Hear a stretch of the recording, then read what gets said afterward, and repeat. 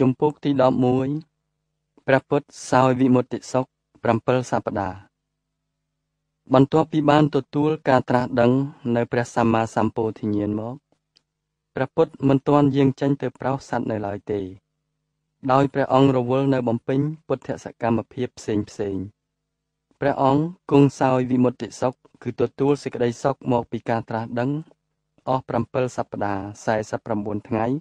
នៅក្នុង7កន្លែងផ្សេងផ្សេងគ្នា និងកន្លែងនីមួយនីមួយអស់ចំនួន7ថ្ងៃសប្តាហ៍ទី1ចាប់ពីថ្ងៃប្រហោះ100ខែពិសាទៅទល់នៅថ្ងៃប្រហោះ800ខែពិសាទ្រង់គង់នៅលើរតនបល្ល័ង្កក្រោមដើមពោធិព្រឹកនោះសប្តាហ៍ទី2ចាប់តាំងពីថ្ងៃប្រហោះ800ខែពិសាទៅទល់ថ្ងៃប្រហោះ1500ខែពិសាពេលព្រឹក ទ្រង់ធ្វើយមកៈបដិហាដោះសេចក្តីសង្ស័យរបស់ពួកទេវតា ហើយទ្រង់ចុះទៅគង់នៅត្រង់ទិសឦសាន នៃរតនបល្ល័ង្កនោះទ្រង់ព្រះចិន្តាថាតថាគតបានទទួលនៅសព្វញ្ញុតញ្ញាណគឺការត្រាស់ដឹងកំពូលនៅលើរតនបល្ល័ង្កនាគុលពោធិព្រឹកនេះហើយព្រះអង្គតតព្រះនេតទៅកាន់ដើមពោធិព្រឹក ដោយពុំពព្រិចប្រណេតអស់7ថ្ងៃទៀតទីនោះហៅថាអនិមិសកចេតីយដ្ឋាន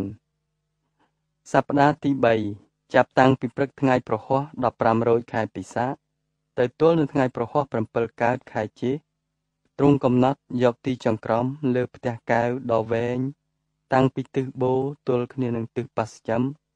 នៅត្រង់រតនបល្ល័ង្ក និងអនិមិសកចេតីគឺកន្លែងដែលព្រះអង្គគង់ទីនេះហៅថារតនចង្ក្រមសប្តាហ៍ទី4ចាប់តាំងពីព្រឹកថ្ងៃប្រហោះ7កើតខែជេទៅទល់នៅថ្ងៃប្រហោះ14កើតខែជេទ្រង់គង់នៅក្នុងផ្ទះកែវខាងទិសពាយ័ព្យនៃពោធិព្រឹកព្រះអង្គពិចារណាធម៌ដែលព្រះអង្គបានត្រាស់ដឹងហើយ ដើម្បីយកទៅសម្ដែងប្រោសសัตว์ សពថ្ងៃដែលហៅថាព្រះត្រៃបិដកគឺវិន័យបិដក1សូដនបិដក1និងអភិធម្មបិដក1ដែលប្រកបដោយនិកាយ5អង្គ9និងធម្មខណ្ឌចំនួន84000ពេលព្រះអង្គបានសម្រេចនៅព្រះសម្បញ្ញត្តិញាណនៃបិដកទាំង3ធ្វើឲ្យព្រះអង្គមានឆោពណ៌នរាំងសី6ពណ៌គឺពណ៌ខៀវលឿងក្រហម ស និងហង្សបាត គឺពណ៌ចម្រុះដូចជើងហង្សដែលចាំងភ្លឺភ្លេចផ្សាយចេញពីព្រះកាយទៅកាន់សពទិសានុទិសទីនេះហៅថារតនខរៈចេតីយដ្ឋានសប្តាហ៍ទី5ចាប់តាំងពីថ្ងៃប្រហោះ14កើតខែជេទៅទល់នឹងថ្ងៃប្រហោះ600ខែជេទ្រង់យាងចាកពីរតនខរៈឋានទៅគង់នៅក្រោមដើមអច្ចបាលនិក្រូតវិញ គឺដើមជ្រៃដែលពួកកងវិលជាមឬពួកពពែតែងឈប់ជ្រកសម្រាប់នៅទីនោះ ក្នុងទីនោះទ្រង់ពិចារណានៅព្រះសទ្ធំនិងមនុស្សដែលគួរប្រោសបាន6ពួកព្រះអង្គទ្រង់ភាវនាឃើញព្រាហ្មណ៍ម្នាក់ឈ្មោះហុងហុងកជាតិកៈគឺជាអ្នកដែលចូលចិត្តគម្រាមគេ ដោយធ្វើសំឡេងហុំហុំ បានចូលទៅគាល់នៅបង្គំទូលសួរព្រះពុទ្ធថាបបិទ្ធព្រះអង្គដ៏ចម្រើន តើបុគ្គលបែបណា ដែលអាចចាត់ទុកថាជាព្រាមប្រកបដោយធម៌នោះព្រះពុទ្ធទ្រង់ត្រាស់ជាគាថាប្រាប់ថា មនាលហុងហុងកជាតិកៈព្រាមណាដែលបានលះបង់ចោលនៅបាបធម៌ហើយលះបង់ចោលនៅសំលេងគំរាមថាហុងហុងហើយលះបង់ចោលនៅរាគាតិកិលេសហើយព្រមទាំងមានចិត្តសង្រួមហើយ ចេះចប់នៅគម្ពីរវេទគឺមគ្គញ្ញាណ4 មានព្រមចរិយាធម៌នៅក្នុងខ្លួន និងមានគំនោរោគាតិកិលេសនៅក្នុងអារម្មណ៍សោះហើយក្នុងលោកសន្និវិសនេះ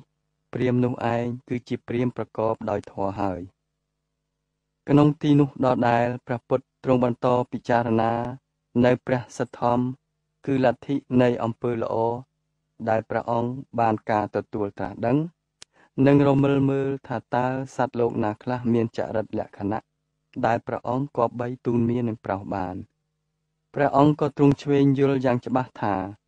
សត្វលោកទាំងឡាយមិនងាយស្ដាប់យល់ធ្លុះជ្រៅទៅក្នុងធម៌ដែលព្រះអង្គបានរកឃើញនោះឡើយទើបព្រះអង្គទ្រង់គង់នៅស្ងៀមដោយសោយវិមុតតិសុខនៅក្រោមដើមជ្រៃនោះតទៅទៀតលំដាប់នោះមាចិត្តឫស្យាដែលជាអ្នកធ្លាប់ស្វែងរកនៅទោសរបស់ព្រះអង្គតាំងពីដើមមកនោះ ចូលមក ហើយបង្គំទូលអារាធនាព្រះអង្គថាណែព្រះពុទ្ធ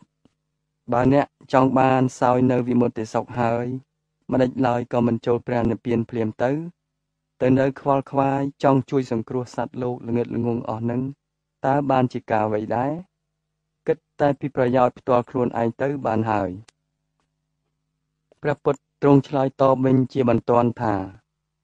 មនាលមីមានចិត្តបាប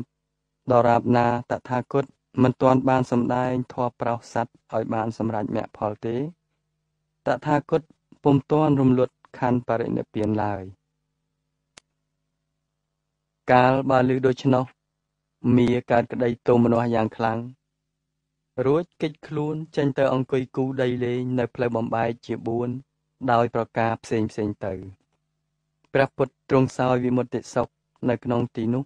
អស់រយៈពេល7ថ្ងៃទៀតសប្តាហ៍ទី6ចាប់ពីថ្ងៃប្រហោះ6រោចខែចេទៅទល់នឹងថ្ងៃប្រហោះ13រោចខែចេទ្រង់ក្រោកចាក់គល់ជ្រៃយាងឆ្លងកាត់ស្ទឹងនិងតាមភ្លឺស្រែឆ្ពោះទៅកាន់ស្រះឈូកមួយ ដែលព្រះអង្គសពប្រតិជាខ្លាំងនោះចូលដល់ហើយព្រះអង្គជ្រើសរើសរកអាសនៈដ៏សមគួរនៅក្រោមដើមរាំង រួចហើយទ្រង់គង់ចម្រើនភាវនាចំពោះផ្កាឈូកដ៏ល្អទាំងនោះ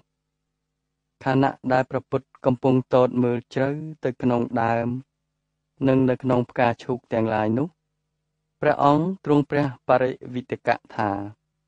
ការរីកដុះដាលនៃដើមនិងផ្កាឈូកមានដំណាក់កាលខុសគ្នាទាំងអស់ឫសឈូកនៅកប់ជ្រៅទៅក្នុងភក់ល្បប់ នៅពេលដែលដើមឈូកខ្លះដុះមិនទាន់ផុតពីទឹកផង មានដើមខ្លះទៀតលេចចេញផុតពីផ្ទៃទឹកប៉ុន្តែស្លឹកនៅក្តោបនៅឡើយ នៅពេលដែលផ្កាឈូកខ្លះនៅក្រពុំ មានផ្កាខ្លះលេចត្របករីកស្គុះស្គាយមានផ្លែឈូកខ្លះរុះលំអងអស់មានផ្លែខ្លះមិនទាន់រុះលំអងនៅឡើយទេ មានខ្លះផ្កាពណ៌សខ្លះពណ៌ខៀវខ្ចីនិងផ្កាខ្លះពណ៌ក្រហមស៊ីជម្ពូ ព្រះអង្គពិចារណាបន្ថែមទៀតថា មនុស្សលោកទាំងឡាយក៏មិនខុសគ្នាអំពីដើមផ្កានិងផ្លែឈូកទាំងនោះដែរមនុស្សម្នាក់ម្នាក់សុទ្ធតែមានអារម្មណ៍ធម្មជាតិផ្ទាល់ខ្លួនរបស់គេនឹងទ្រង់បានប្រៀបធៀបថា ទេវទត្តពិតជាមិនដូចអានន្ទព្រះនាងពំពាយសោធរី ពិតជាមិនដូចព្រះមេដាបមិតា មនុស្សម្នាក់ម្នាក់សុទ្ធតែមានបញ្ញាគុណធម៌ ទេពកោសលនិងបុគ្គលិកលក្ខណៈប្លែកប្លែកគ្នា ទាំងអស់មគ្គនៃការត្រាស់ដឹងដែលអាត្មាអញបានរកឃើញ ត្រូវការបរិយាយតាមមជ្ឈបាយផ្សេងច្រើនទៀតដើម្បីឲ្យស្របតាមប្រភេទមនុស្សដែលមានសភាពខុសគ្នានោះព្រះអង្គទ្រង់សោយវិមុតតិសុខនៅទីនេះអស់7ថ្ងៃទៀតតាមសេចក្តីនិទានបានដំណើរថាស្រះឈូកនោះ មាននាមបញ្ញត្តិថាស្រះមុចលិន ដោយយកតាមឈ្មោះស្ដេចនាគមួយដែលរស់នៅក្នុងស្រះនោះ ដោយហេតុថាក្នុងពេល7ថ្ងៃដែលប្រពុតគង់ភាវនានៅនាមាត់ស្រះនោះ មានភ្លៀងបង្អុរចុះមកយ៉ាងខ្លាំងក្សិននោះ មានស្ដេចនាគឈ្មោះមុចលិន បានលូនចេញពីស្រះនោះ រួចហើយក៏និមិត្តកាយដ៏ធំពេលពាត់ខ្លួន7ជុំជារង្វេលត្រពីក្រោមព្រះពុទ្ធអង្គ លើកឲ្យផុតអំពីទឹកជំនន់និងបើកពពារដូចជាបោះស្បុក បាំងក្របអំពីលើព្រះសិរិសា ដើម្បីការពារដំណក់ភ្លៀងនិងកម្ដៅថ្ងៃ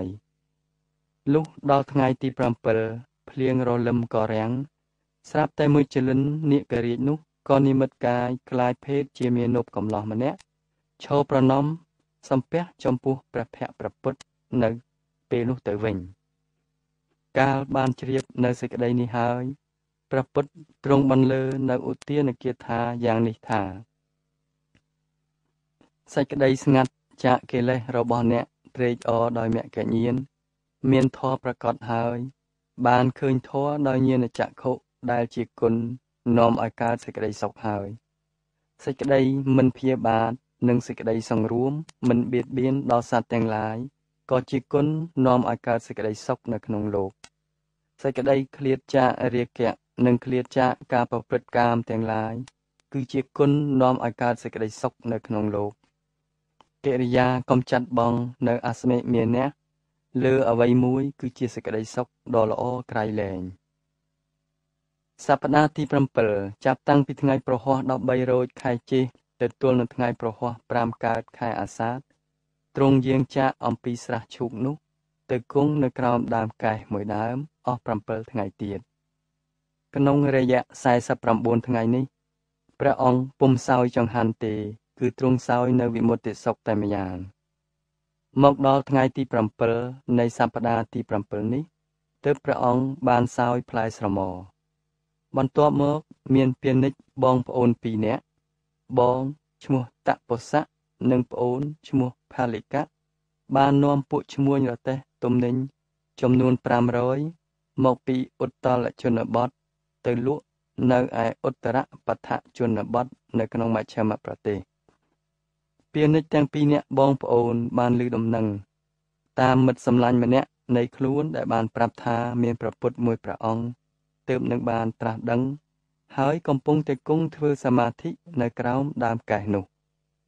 ពាណិជ្ជ ទាំងពីរនាក់បងប្អូនក៏នាំគ្នាចូលទៅថ្វាយបង្គំព្រះពុទ្ធហើយក៏កើតមានសេចក្តីជ្រះថ្លាប្រគេននៅចង្ហាន់ជាសដៅដុំនិងសដៅផង់ថ្វាយដល់ព្រះអង្គសោយពាណិជ្ជទាំងពីរបានសុំខ្លួនធ្វើជាឧបាសកដំបូងបង្អស់របស់ព្រះអង្គក្នុងពេលនោះតែម្ដងពាណិជ្ជតាពុសៈនិងផលិកៈក៏បាននាមបញ្ញត្តិថាទ្វេវាជាកឧបាសក គឺឧបាសកនៃព្រះពុទ្ធសាសនាលើកដំបូងបង្អស់នៅក្នុងលោករួចមកបឋមឧបាសកទាំងពីរ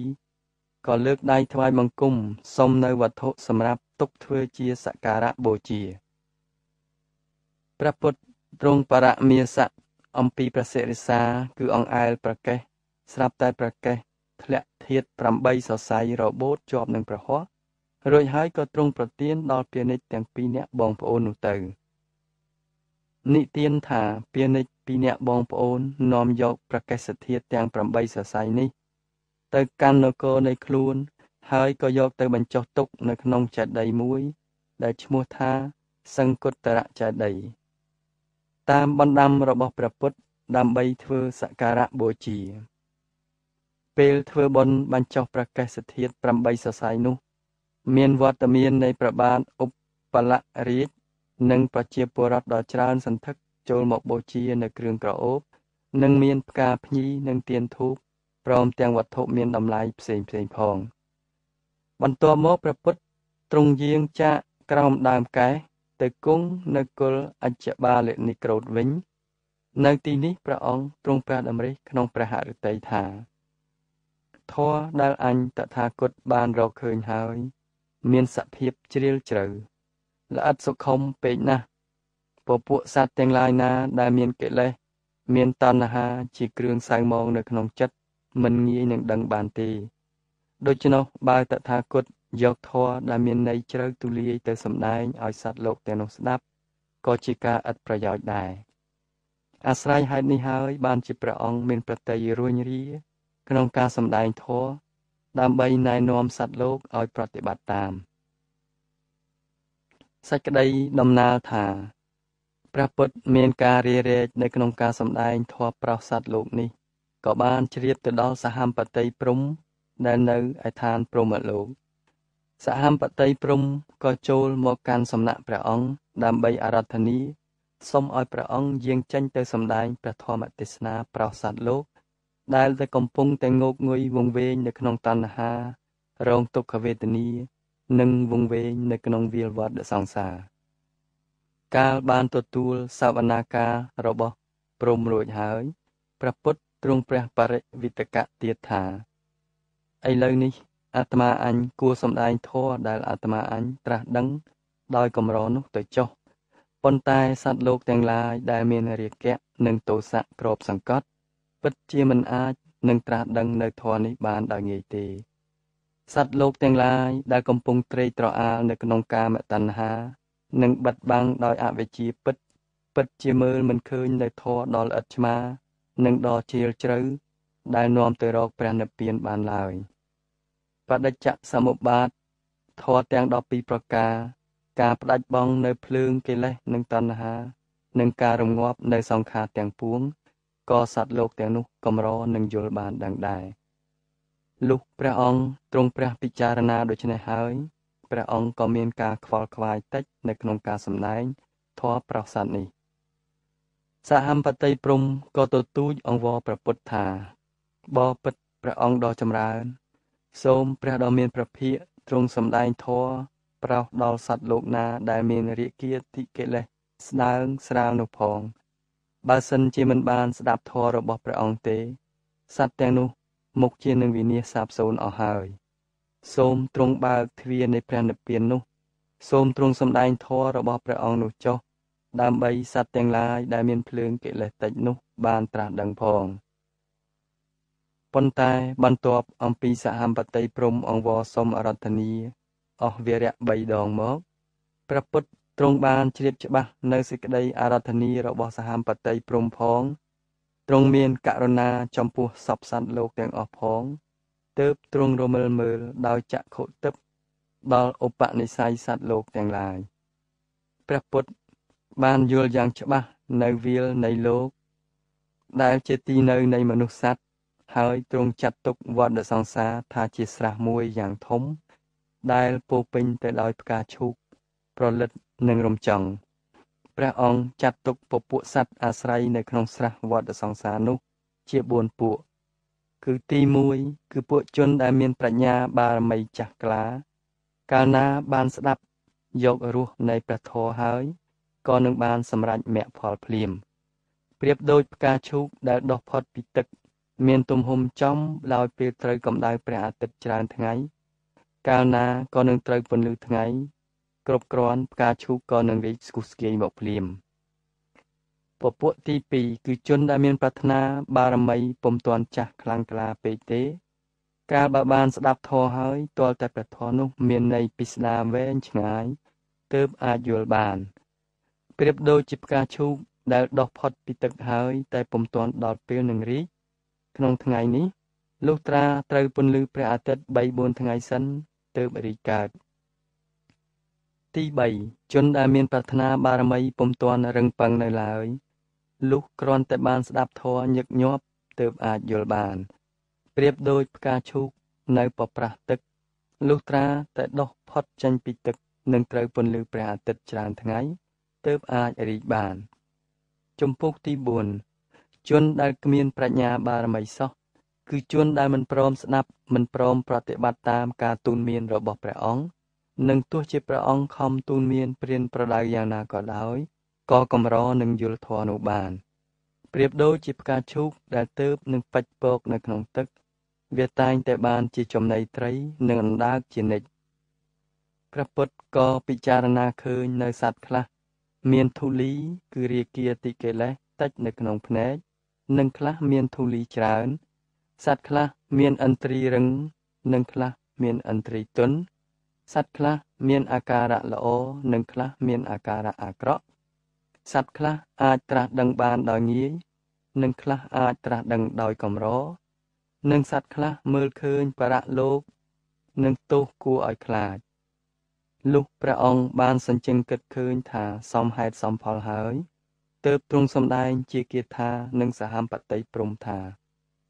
មនាលសហមបតីព្រំ ទ្វារនៃព្រះនិព្វានទាំងឡាយនោះបើកហើយ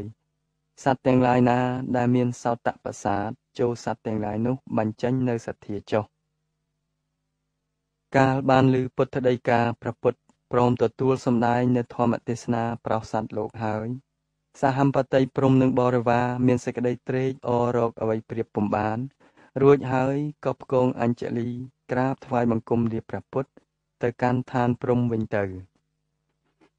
បន្ទាប់ពីបានប្រទាននៅបដិញ្ញាដល់មហាព្រំរួចមកព្រះពុទ្ធទ្រង់ព្រះចិន្តាថា ជាការចាំបាច់អាត្មាអញត្រូវតែត្រឡប់ទៅកាន់សង្គមមនុស្សវិញ ដើម្បីបង្វិលកង់ធម្មចក្រនិងសាព្រោះនៅកងធរទាំងឡាយសម្រាប់ការត្រាស់ដឹង ដើម្បីជាសេចក្តីពិតឥឡូវនេះតើអ្នកណាដែលអាត្មាអញគួរនឹងសម្ដែងធរឲ្យស្ដាប់មុនគេណោអាឡារតាបោះ និងឧតកតាបោះជាបណ្ឌិតមានបញ្ញាឆ្លៀសវៃនិងមានរាគីយតិកិលេសតិចដែលគូអាត្មាអញសម្ដែងធម៌ប្រោសមុនគេ មុខតែនឹងបានត្រាស់ដឹងដោយរហ័សបន្ទាប់មកអាត្មាអញគួរសម្ដែងធម៌ប្រោសដល់បញ្ចវគិយភគុទាំង5ដែលជាមិត្តធ្លាប់បានធ្វើតបកម្មជាមួយគ្នា បន្ទាប់ពីនោះទៀតអាត្មាអញគួរតែសម្ដែងធម៌ប្រោសព្រះបាទពឹមពិសានៃនគរមគធៈ ដែលអាត្មាអញធ្លាប់បានសន្យាព្រះពុទ្ធសម្រាប់ព្រះតីយាងចាកពីឧរុវេលនិគមដែលជាទីព្រៃមានម្លប់ត្រជាក់ដុះតាមបណ្ដោយដងស្ទឹងនេរញ្ជរី និងជាទីមានដើមពោធិព្រឹកផ្ដល់នូវសេចក្តីសុខដល់ព្រះអង្គនិងក្មេងកូនអ្នកស្រុកទៀតផងព្រឹកស្អែកឡើងព្រះពុទ្ធទ្រង់ក្រងដណ្ដប់ស្រាច់ដោយស្បង់ចេកពណ៌ថ្មីពណ៌ឥតដ៏ល្អវិចិត្រដែលនាងនុនតបាល និងនាងសុចិតាបានដេកថ្វាយព្រះអង្គព្រះអង្គនិមន្តទៅកាន់សំណាក់សោធយកុមារនិងបងប្អូនជាមុន រួចទើបព្រះអង្គនាំកុមារទាំងឡាយនោះ ទៅកាន់សំណាក់នាងសុចិតាជាខាងក្រោយ កាលដែលបានដឹងនៅរឿងនេះភ្លាម នាងសុចិតាក៏ស្រែកទ្រហោយំយ៉ាងខ្លាំងព្រះពុទ្ធមានពុទ្ធដីកាទៅកាន់កុមារទាំងអស់ថា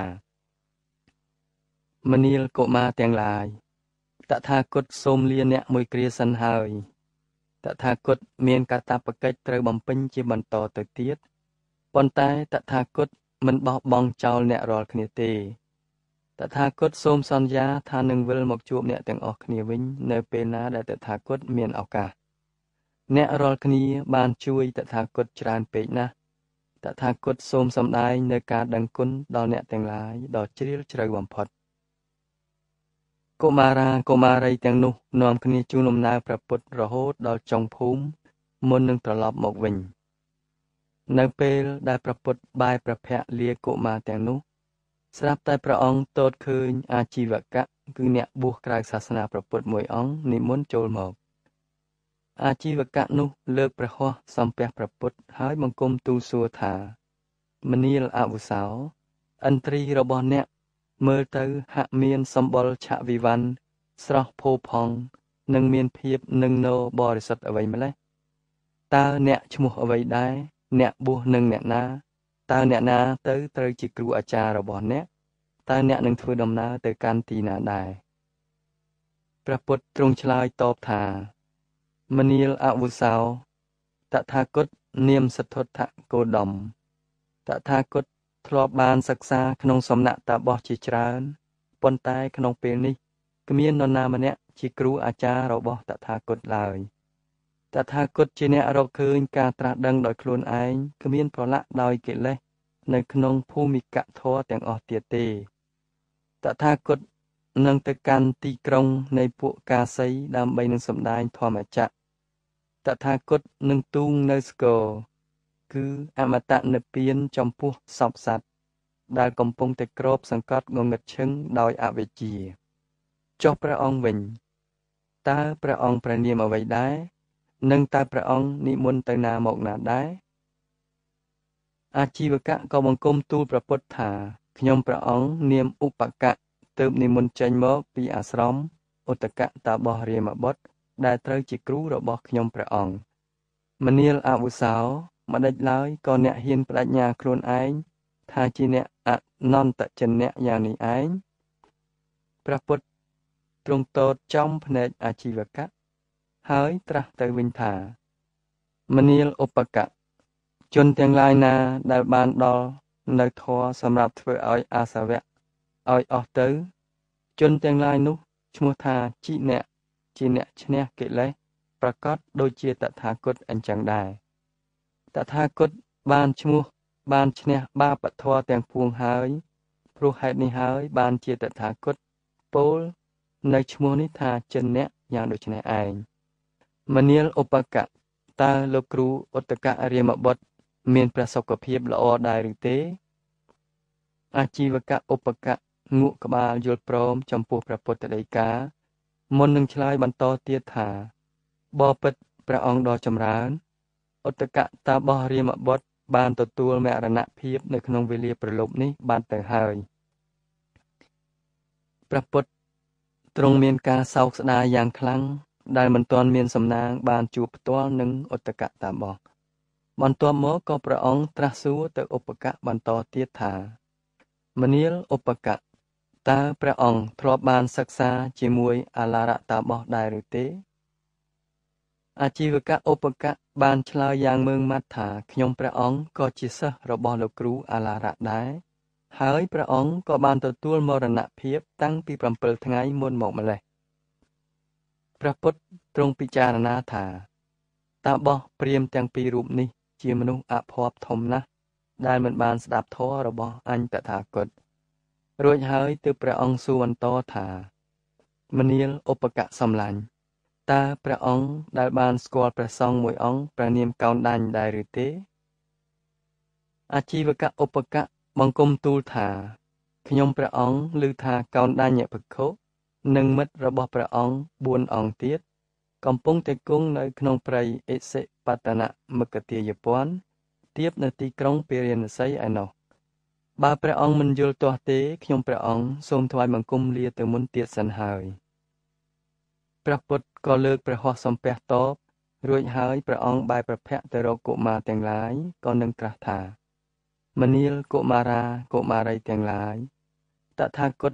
នឹងចូលទៅកាន់ក្រុងពារាណសីដើម្បីស្វែងរកមិត្តភិក្ខុ5អង្គទៀតចូលអ្នកនាំគ្នាត្រឡប់ទៅផ្ទះវិញចុះព្រះពុទ្ធទ្រង់លើកព្រះហស្ថលាកុមារទាំងឡាយនោះរួចហើយក៏និមន្តចេញទៅ កុមារទាំងឡាយនោះលើកដៃសំពះតបព្រះអង្គវិញព្រមព្រមគ្នា ហើយក៏នាំគ្នាតាមមើលព្រះពុទ្ធរហូតដល់ផុតកន្ទុយភ្នែកកុមារទាំងឡាយមានទឹកមុខស្រងោតស្រងាត់និងសម្ដែងនៅអាការៈហាក់ដូចជាអស់សង្ឃឹមនាងសុចិតាយំហ៊ូឡើង ធ្វើឲ្យសេដ្ឋីកុមារទប់ទឹកភ្នែកមិនបានក៏យំហ៊ូដែរកុមារទាំងអស់គ្នាយំតតគ្នា នាងសុចិតានិងសោធយកុមារ ក៏នាំមិត្តសម្លាញ់នៃខ្លួន ដើរតាមមាត់ស្ទឹងត្រឡប់ទៅផ្ទះវិញ ដោយរឹកពីយ៉ាងស្លូតបូតចប់ជំពូកទី11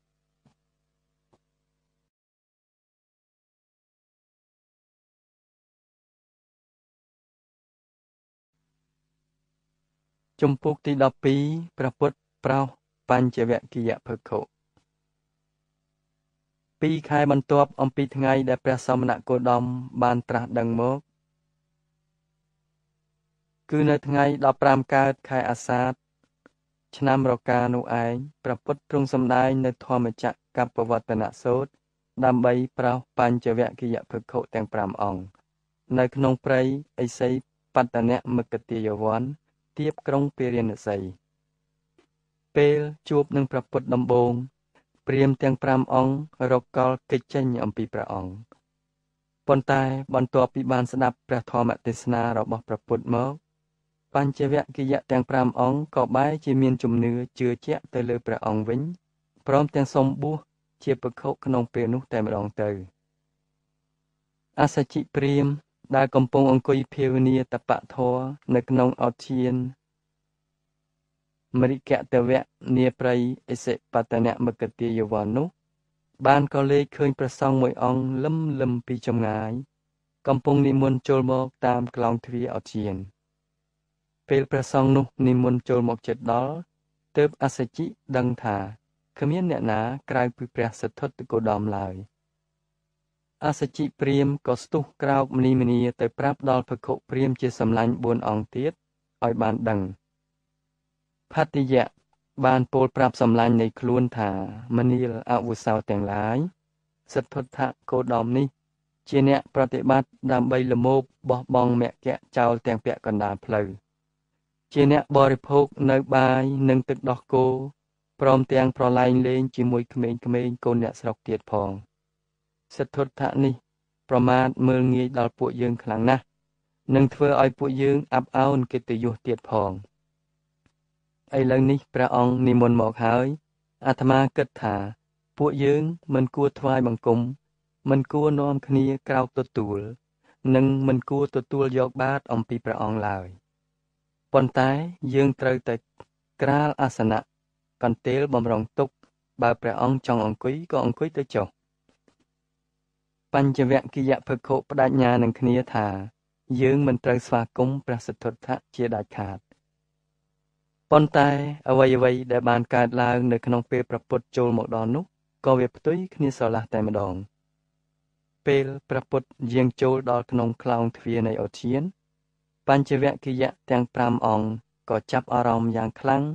នៅពន្លឺរស្មីដែលចែងចាំងចេញពីព្រះកាយរបស់ព្រះអង្គបញ្ចវគិទាំង5អង្គភ្លេចពាក្យបដិញ្ញានឹងគ្នាអស់រលីងបែរជានាំគ្នាត្រេកអរហើយស្ទុះក្រោកឈរ ហើយរត់ទៅទទួលព្រះពុទ្ធដោយមិនដឹងខ្លួនព្រះពុទ្ធហាក់ដូចជាហុំព័ទ្ធជុំវិញដោយអាការៈនៃពន្លឺមួយជំហាន មួយជំហានដែលព្រះអង្គឈាន បញ្ជាក់នៅកម្លាំងទឹកចិត្តដែលកម្ររកបាន ការសំឡឹងយ៉ាងជោគចិត្តទុកដាក់របស់ព្រះអង្គអាចធ្វើឲ្យអន្តរាយដល់ចេតនារបស់បញ្ចវគិទាំង5អង្គដែលចង់ថាធ្វើប្រងើយកន្តើយនិងមើលងាយព្រះអង្គ កោនដាញព្រាមស្ទុះទៅចិត្តព្រះអង្គរួចក៏ទទួលយកបាតអំពីព្រះអង្គមហានាមស្ទុះទៅដងទឹកយកមកប្រគេនព្រះអង្គលាងព្រះហស្ថនិងព្រះបាទភតិយៈទាញយកកន្ទេលមកក្រាលថ្វាយវបៈរកបានផ្លិតស្លឹកត្នោតមួយក៏យកមកបកថ្វាយព្រះអង្គអសជិឈរនៅជ្រុងម្ខាងមីងមាំងមិនដឹងជាធ្វើអ្វីកើតបន្ទាប់ពីប្រពុតលាងជំរះព្រះហស្ថនិងព្រះបាទរួចមក ទើបអសជិដឹងថាខ្លួនត្រូវចាក់ទឹកក្តៅអ៊ុនៗមួយផ្តិលទៀតថ្វាយព្រះអង្គពេលនោះបញ្ចវគិនាំគ្នាហៅព្រះពុទ្ធដោយចំព្រះនាមថាសទ្ធត្ថៈព្រមទាំងអឧសោផងភក្ខុទាំង5អង្គអង្គុយព័ទ្ធជុំវិញព្រះពុទ្ធលើកហដ្ឋាប្រណម្យហើយទតឈ្មោះត្រង់ចំពោះព្រះភ័ក្ត្រព្រះសាស្តា ដែលព្រះអង្គកំពុងតែទតមើលដោយសុភាព មកកាន់ភក្ខុទាំង5អង្គនោះ ហើយព្រះពុទ្ធទ្រង់មានព្រះតម្រាស់ថាមនាលអវុសោទាំងឡាយតថាគតបានឆ្ងាយចាក់កិលេសរួចអស់ហើយតថាគតបានរកឃើញនៅព្រះសម្មាសម្ពោធិញ្ញាណដ៏ឧត្តមដោយខ្លួនតថាគតផ្ទាល់ហើយចូលអ្នកទាំងឡាយតម្កល់នៅសោតបសាទរងចាំស្ដាប់នៅអមតធរនេះចុះតថាគតនឹងសម្ដែងនៅធរនេះដល់កុលបុត្រទាំងឡាយដែលចាក់ចោលផ្ទះ ហើយមកបួសដើម្បីជាប្រយោជន៍ដល់អនុត្តរធម៌បើអ្នកទាំងឡាយណាបានប្រតិបត្តិតាមពាក្យព្រានប្រដៅរបស់តថាគតហើយ អ្នកទាំងនោះពុំយូរឡើយក៏នឹងបានយល់ច្បាស់ដោយបញ្ញាខ្លួនឯងនៅអនុត្តរធម៌ដែលជាទីបំផុតនៃមគ្គព្រហ្មចរិយៈរួចនឹងបានសម្រេចសម្រានទៅដោយអរិយាបថទាំង4គឺដេកដើរឈរនិងអង្គុយ អសជិភក្ខុហាក់ជឿពាក់កណ្ដាលពុំជឿពាក់កណ្ដាលនៅព្រះពុទ្ធដីកានេះភក្ខុ4អង្គទៀតប្រហែលជាមានការចាប់អារម្មណ៍ដូចជាអសជិភក្ខុដែរដោយគ្មានភក្ខុអង្គណាបញ្ចេញយោបល់អស់មួយស្របក់មកទើបកោនដាញ់ពោលឡើងដោយរបូតមាត់ថាមនាលអវុសោគោដំព្រះអង្គមិនទាន់ទាំងបានត្រាស់ដឹងនៅឧត្តរិមនុស្សធម៌ផង ដែលជាធម៌ពិសេសដោយញាណនិងទស្សនៈដ៏ឧត្តមអាចកំចាត់បងនៅកិលេសដោយការប្រព្រឹត្តផ្សេងផ្សេងដោយការប្រតិបត្តិផង ដោយអំពើដែលអ្នកដតីធ្វើតាមបានដោយកម្រផង និងឥឡូវនេះក៏ព្រះអង្គប្រតិបត្តិដើម្បីលមោកច្រើនផង និងឃ្លាតចាកព្យាយាមផងតើឲ្យពួកយើងជឿព្រះអង្គថា ជាអ្នកបានរកឃើញផ្លូវត្រាស់ដឹងនោះដោយមិនកើតព្រះពុទ្ធ តតឆ្ពោះទៅកាន់ភក្ខុកោនដាញ់ហើយទ្រង់ត្រាស់សួរថា មើលកោនដាញ់អ្នកធ្លាប់ស្គាល់តថាគតយូរណាស់មកហើយតើរាល់ពេលទាំងអស់នោះតថាគតដែលបានភូតភរអ្នកដែរឬទេកោនដាញ់ក៏ឆ្លើយថា ពិតជាមិនដែលមានទេព្រះអង្គខ្ញុំមិនដែលឮព្រះអង្គពោលពាក្យកុហកសោះឡើយព្រះពុទ្ធ ទ្រង់ត្រាស់បន្តថាបើដូច្នោះមែនសូមសម្លាញ់ទាំងឡាយផ្ទៀងសោតា ស្ដាប់តថាគតឲ្យបានច្បាស់នៅអមតៈធម៌ដែលតថាគតបានរកឃើញនោះចុះមនាលអ្នកទាំងឡាយអ្នកពិតជាមនុស្សមានភ័ព្វសំណាងធំណាស់ដោយបានស្ដាប់នៅអមតៈធម៌ដែលជាផ្លូវដ៏ប្រសើរនេះមុនគេបង្អស់ធម៌នេះមិនមែនជាលទ្ធផលនៃការសញ្ជឹងគិតទេ តែជាផលដែលបានមកពីការពិសោធន៍របស់តថាគតផ្ទាល់តែម្ដងកោនដាញ្ញភិក្ខុលើកដៃប្រណម្យហើយពោលជំនួសភិក្ខុជាមិត្តសម្លាញ់នៃខ្លួនថាបបិទ្ធសម្លាញ់គោដំ សូមព្រះអង្គបង្ហាញពួកយើងឲ្យបានដឹងអំពីមេត្តាធម៌និងផ្លូវដ៏ប្រសើរគឺអរិយមគ្គរបស់ព្រះអង្គនោះផងមើលព្រះពុទ្ធ ចាប់ផ្ដើមសម្ដែងនៅអន្តធរគឺធរថោកទាបពីប្រការប្រាប់បញ្ចវគិថាមនាលអវុសោទាំងឡាយ មានធរអមសងខាងពីប្រការ ដែលមនុស្សនៅលើមគ្គៈឬបបចិត្តត្រូវជៀសវាង និងមិនគួរសែបគប់ធរអមសងខាងទាំងពីរប្រការនោះ គឺទី1ការជំរុញខ្លួនឲ្យធ្លាក់ទៅក្នុងអន្លង់កាមកិលេសដែលជារបស់ពុទ្ធជន ទី2ការប្រឹងធ្វើតបកម្មដែលបង្អត់ធ្វើបាបខ្លួនឯងឲ្យលំបាកវេទនានៅពេលដែលខ្លួនកំពុងត្រូវការជៀសមិនរួចនៅឡើយអន្តធរធរថោកទាបទាំងពីរប្រការនេះ មានលក្ខណៈថោកទាបជាធរអ្នកស្រុកមិនមែនជាធររបស់អរិយបុគ្គលឡើយអន្តធរនេះតថាគតធ្លាប់បានសែបគប់និងប្រព្រឹត្តពីដើមរួចមកហើយ ហើយបានយល់យ៉ាងច្បាស់ ទើបតថាគតបោះបង់ចោល នៅពេលដែលធ្វើទុក្ករកិរិយានោះទៅផ្លូវខុសទាំងពីរយ៉ាងនេះមិនអាចនាំបុគ្គលឲ្យសម្រេចនៅពន្លឺត្រាស់ដឹងបានទេផ្លូវដ៏ប្រសើរដែលតថាគតបានរកឃើញនោះ គឺផ្លូវកណ្ដាលឬក៏មជ្ឈិមបដិបទាដោយច្រានចោលនៅផ្លូវអមសងខាងទាំងពីរនេះនិងជាផ្លូវដ៏ត្រង់ដែលអាចនាំឲ្យអ្នកបដិបត្តិកើតមានចក្ខុបញ្ញា សម្រាប់ការត្រាស់ដឹងនៅអរិយសច្ចធម៌ដើម្បីព្រះនិព្វាន និងដើម្បីខ្សែមផុតចាកទុក្ខផ្លូវដ៏ប្រសើរនោះប្រកបដោយអង្គ8ដែលហៅថាអរិយអថង្គិកមៈគឺជាផ្លូវដែលតថាគតបានប្រតិបត្តិដោយខ្លួនឯងរួចមកហើយ ហើយបានធ្វើឲ្យតថាគតសម្រេចនៅពន្លឺត្រាស់ដឹង ផ្លូវដ៏ប្រសើរប្រកបដោយអង្គ8នោះ គឺទី1សម្មាទិដ្ឋិ ការឃើញត្រូវ ការឃើញអរិយសច្ចធម៌ទី2សម្មាសង្កប្បៈការត្រេះរិះត្រូវ គឺត្រេះរិះមិនបៀតបៀនមិនចង់បានទ្រព្យសម្បត្តិអ្នកដទៃនិងត្រេះរិះចិញ្ចកាម ទី3សម្មាវាចា ការពោលពាក្យត្រូវ គឺនិយាយតែពាក្យសម្ដីត្រឹមត្រូវ វាចាឧចយទុចរិត4គឺវាចាមុសាវាទ1 ការពោលពាក្យមិនពិត វាចាគឺការពោលពាក្យញុះញង់បំបាយបំបាក់វាចាការជេរប្រតិចផ្ដាសានិងឌៀមដាម និងវាចាការនិយាយលេងឥតប្រយោជន៍ទី4សមាកម្មន្តៈការងារត្រូវគឺការប្រកបការងារដោយសុចរិតយុត្តិធម៌វាចាកាយទុច្ចរិត3យ៉ាង គឺបាណា1គឺវាចាការសម្លាប់សត្វមានជីវិត អតនី1វាចាការលួចទ្រព្យសម្បត្តិអ្នកដទៃនិងការមេ1វាចាការប្រព្រឹត្តខុសក្នុងកាមតាមច្បាប់ ដោយចាប់បង្ខំឬរំលោភលើស្ត្រីភេទទី5សមាអាជីវៈការចិញ្ចឹមជីវិតត្រូវ គឺរស់នៅក្នុងមុខរបរដែលស្របច្បាប់ និងដោយគុណលងធរវាចានៅចំនួនខុស5ប្រការ គឺជួញគ្រឿងសាស្ត្រាវុធ1 ជួញមនុស្ស1ជួញសាច់1ជួញគ្រឿងស្រវឹង1និងជួញថ្នាំពឹស1ទី6សមាវាយាមៈ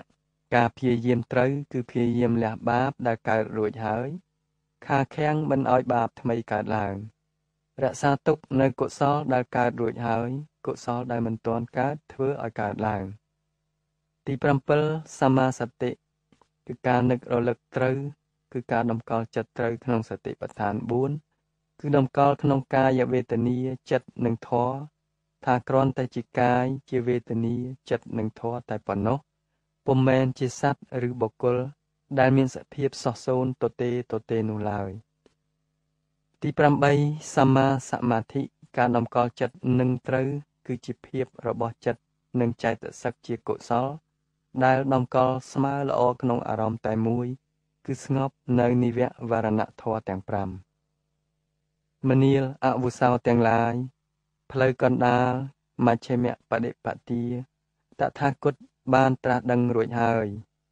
ចូលអ្នកទាំងឡាយចងចាំទុកក្នុងចិត្តឲ្យច្បាស់ថា មានផ្លូវដ៏ប្រសើរទាំង8យ៉ាង ឬអដ្ឋាង្គិកមៈនេះទេ ដែលអាចជួយដល់សត្វលោកឲ្យវាចាកផុតពីសេចក្តីទុក្ខក្នុងចំណងកិលេស និងនាំទៅដល់ពន្លឺត្រាស់ដឹងជាទីបំផុតបាន ផ្លូវដ៏ប្រសើរទាំង8យ៉ាងខាងលើនេះ បង្រួញមកបានត្រឹមតែ3ប្រការធំធំ គឺសិលសមាធិនិងបញ្ញា ការឃើញត្រូវនិងការត្រេះរិះត្រូវសមាទិដ្ឋិនិងសមាសង្កប្បៈបានដល់បញ្ញា ការពោលពាក្យត្រូវ ការធ្វើការងារត្រូវ និងការចិញ្ចឹមជីវិតត្រឹមត្រូវ សមាវិជ្ជា សមាកមន្តៈនិងសមាអាជីវៈគឺបានដល់សិលការព្យាយាមត្រូវនិងការនឹករលឹកត្រូវ និងតម្កល់ចិត្តត្រូវសមាវាយាមៈនិងសមាសតិសមាសមាធិបានដល់សមាធិមនាលអវុសោទាំងឡាយតថាគតក៏បានពិចារណារកឃើញនៅសេចក្តីទុក្ខដែលកើតមានដល់សត្វលោកសត្វលោកមានសេចក្តីទុក្ខធំធំជៀសពំរួច4យ៉ាង គឺទី1 ទុក្ខអរិយសច្ចគឺទុក្ខជាសេចក្តីពិតឬវត្តមាននៃទុក្ខដែលកើតមានដល់មនុស្សនិងសពសត្វលោកពុំអាចជៀសផុតគ្រាន់តែអ្នកខ្លះមានតិច អ្នកខ្លះមានច្រើនប៉ុណ្ណោះទុក្ខធំធំទាំងឡាយនោះ គឺជាតិទុក្ខគឺទុក្ខព្រោះមានជាតិកំណើតតាំងតែពីនៅក្នុងផ្ទៃម្ដាយជាដំបូងម្លេះពាធិទុក្ខគឺទុក្ខ ដោយមកពីជំងឺ មានជំងឺដំកាត់មកបៀតបៀនដល់រូបរាងកាយចរិយាទុក្ខគឺទុក្ខព្រោះរូបកាយចាស់ក្រំគ្រានិងទ្រុឌទ្រោមនិងមរណៈទុក្ខគឺទុក្ខព្រោះសេចក្តីស្លាប់ឈឺចុកចាប់ខ្លាំងនៅពេលស្លាប់ក្រៅអំពីទុក្ខធំទាំង4យ៉ាងនេះ មនុស្សនិងសត្វមានទុក្ខច្រើនប្រភេទទៀតដូចជាទុក្ខព្រោះព្រួយបារម្ភភ័យខ្លាចខឹងច្រណែនប្រច័ណ្ឌ អស់សង្ឃឹមព្រាត់ប្រាសលែងលះប្តីប្រពន្ធចង់មានចង់បានខ្សែគប់ជាមួយមនុស្សពីល មានចិត្តអាក្រក់មិនបានសម្រេចបំណងអ្វីមួយ និងជំពាក់ចិត្តខ្លាំងទៅលើវត្ថុអ្វីមួយ ទី2សមុទយៈអរិយសច្ចៈគឺទុកជាសេចក្តីពិត ដែលកើតឡើងអំពីហេតុអ្វីមួយដ៏ពិតប្រាកដឬជាបបហេតុនៃទុក្ខតថាគតបានពិចារណាទៅឃើញថា ហេតុដែលនាំឲ្យមានទុក្ខបែបនេះ មានពីរយ៉ាង គឺមកពីអវិជ្ជានិងតណ្ហាអវិជ្ជា គឺជាសេចក្តីល្ងងខ្លៅ ដែលមិនដឹងមិនយល់នៅហេតុដែលនាំឲ្យមានទុក្ខគឺអវិជ្ជានេះហើយដែលជាហេតុនាំឲ្យកើតមានតណ្ហាឡើងដោយសារតែអវិជ្ជា មនុស្សមិនអាចមើលឃើញរឿងរ៉ាវនៃជីវិតរបស់ខ្លួនទេ ហើយគេតែងត្រាំជាប់ជានិច្ចនៅក្នុងភ្លើងតណ្ហា លោភៈ កំហឹង ច្រណែន ប្រច័ណ្ឌសោកសង្រេងភ័យខ្លាចសប្បាយភ្លើតភ្លើននឹងការអស់សង្ឃឹមលៈតណ្ហាគឺជាធម្មជាតិនាំសត្វឲ្យកើតទៀតនិងឲ្យត្រេកត្រអាលនៅក្នុងភពនានាឬក្នុងអារម្មណ៍នានាតណ្ហាទាំងអស់នោះ គឺកាមតណ្ហាឬសេចក្តីប្រាថ្នាក្នុងកាមភពភវៈតណ្ហាឬសេចក្តីប្រាថ្នាក្នុងភព និង វិភវៈតណ្ហា គឺសេចក្តីប្រាថ្នាក្នុងអរូបភព គឺតណ្ហាទាំងនេះហើយដែលជាប្រភពនៃសេចក្តីទុក្ខគ្រប់បែបយ៉ាង ទី3និរោធៈអរិយសច្ចគឺជាការផុតរលត់ទុក្ខជាសេចក្តីពិតឬការបញ្ឈប់នៃទុក្ខតថាគតបានពិចារណាទៅឃើញថាមានតែនិព្វានមួយទេ ដែលជាកន្លែងសម្រាប់រំលត់ទុក្ខដើម្បីឲ្យបានផុតអំពីទុក្ខ ត្រូវតែកាត់ផ្ដាច់ឬកែវរបស់វា គឺអវិជ្ជាឲ្យអស់ឡើង។ការយល់ដឹងនៅសច្ចៈនៃជីវិតអាចនាំមកនៅការបញ្ឈប់នៃទុក្ខជាទីបំផុត ហើយក៏នាំឲ្យកើតមានសេចក្តីស្ងប់ និងរីករាយនៅក្នុងចិត្តតថាគតប្រតិបត្តិតាមអរិយអដ្ឋង្គិកមៈជាផ្លូវដ៏ប្រសើរប្រកបដោយអង្គ8នេះទុកជាមេគាសម្រាប់រំលត់ទុក្ខទី4មគ្គអរិយសច្ចៈ គឺផ្លូវនាំឲ្យផុតទុក្ខជាសេចក្តីពិត ឬផ្លូវរំលត់ទុក្ខតថាគតបានពិចារណាទៅឃើញថា មានតែការប្រតិបត្តិតាមផ្លូវកណ្ដាលឬមជ្ឈិមបដិបទានេះទេ ដែលអាចរំលត់ទុកឆ្លងទៅដល់និព្វានបាននៅពេលដែលព្រះពុទ្ធកំពុងតែសម្ដែងនៅចតុរារិយសច្ចនេះធម្មចក្ខុឬភ្នែកមើលឃើញធម៌ប្រះចាកកិលេស និងមន្ទិលក៏កើតមានដល់កោណ្ដាញ្ញភិក្ខុភិក្ខុកោណ្ដាញ់បានពិចារណាឃើញថា សង្ខារទាំងឡាយដែលបានកើតឡើងហើយ រមែងរលត់ទៅវិញជាធម្មតាព្រះអង្គបានក្រេបរសជាតិពន្លឺត្រាស់ដឹងដោយទឹកចិត្តរីករាយនិងច្បាស់លាស់ហើយកាលបើព្រះធម្មចក្ររបស់ព្រះមានប្រភិយទ្រង់សម្ដែងទៅ ដូចជាគេបង្វិលហើយតមៈទេវតាទាំងឡាយក៏បន្លឺ នៅសពសាធុការថាព្រះធម្មចក្រនេះមិនមានចក្រដតីណាប្រសើរជាងឡើយទោះបីជាសមណៈក្តីព្រាមក្តីមាក្តី ព្រំក្តីជនណានីមួយក្តី នៅក្នុងលោកនេះមិនអាចប្រព្រឹត្តទៅបានឡើយឥឡូវនេះព្រះពុទ្ធគោដមទ្រង់ប្រព្រឹត្តទៅបានហើយ នៅក្នុងអិសិបតនៈមគតិយវ័នទៀបក្រុងពារាណសី ទេវតាទាំងឡាយនៅក្នុងឋានចតុមហារាជិកា បានឮសំឡេងរបស់តមៈទេវតាហើយក៏បន្លឺនៅសំឡេងនេះដូចដូចគ្នា ទេវតាទាំងឡាយនៅក្នុងឋានតាវតឹងបានឮសំឡេងចតុមហារាជិកាទេវតាក៏បន្លឺនៅសំឡេងនេះដូចដូចគ្នា ទេវតាទាំងឡាយនៅក្នុងឋានយាមីក្នុងឋានដសិតក្នុងឋាននិមានរដីបរនិមិត្ត ភវក្តីនៅក្នុងឋានព្រំក៏បានបន្លឺនៅសូស័ព្ទសាធុការពោនេះដូចដូចគ្នាដែរការលឺសូរនេះបានលន់លឺកងរំពងដល់ឋានព្រំលោកហើយលោកធាតទាំង10000ក៏កក្រើករំពើកញាប់ញ័រចំប្រាប់ឡើងពន្លឺរស្មីដ៏ធំមហិមារកប្រមាណមិនបាន គឺលើសអំពីអនុភាពរបស់ទេវតាទាំងឡាយក៏ភ្លឺចាំងប្រកបឡើងនៅក្នុងលោកយើងនេះ ព្រះពុទ្ធទ្រង់ចង្អុលទៅកាន់កោណ្ដាញ្ញភិក្ខុនិងបន្លឺនៅឧទានវិចារថា មើលណោភិក្ខុកោណ្ដាញ្ញបានត្រាស់ដឹងពិតប្រាកដហើយ មើលណោកោណ្ដាញ្ញភិក្ខុបានទទួលមគ្គនៃពន្លឺត្រាស់ដឹងហើយ នៅក្នុងគ្រានោះឯងកោណ្ដាញ្ញភិក្ខុបានឃើញ បានដល់បានជឿសុបបានត្រាស់ដឹងនៅអរិយសច្ចធម៌ហើយ បានឆ្លងផុតសេចក្តីមន្ទិលសង្ស័យនិងបានដល់នៅសេចក្តីក្លៀវក្លាមិនជឿបុគ្គលដតីណា ក្រៅអំពីព្រះសាសនាទៀតឡើយក៏ក្រាបបង្គំទូលព្រះពុទ្ធ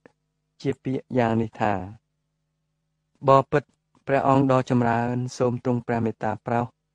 ខ្ញុំព្រះអង្គសូមបបជា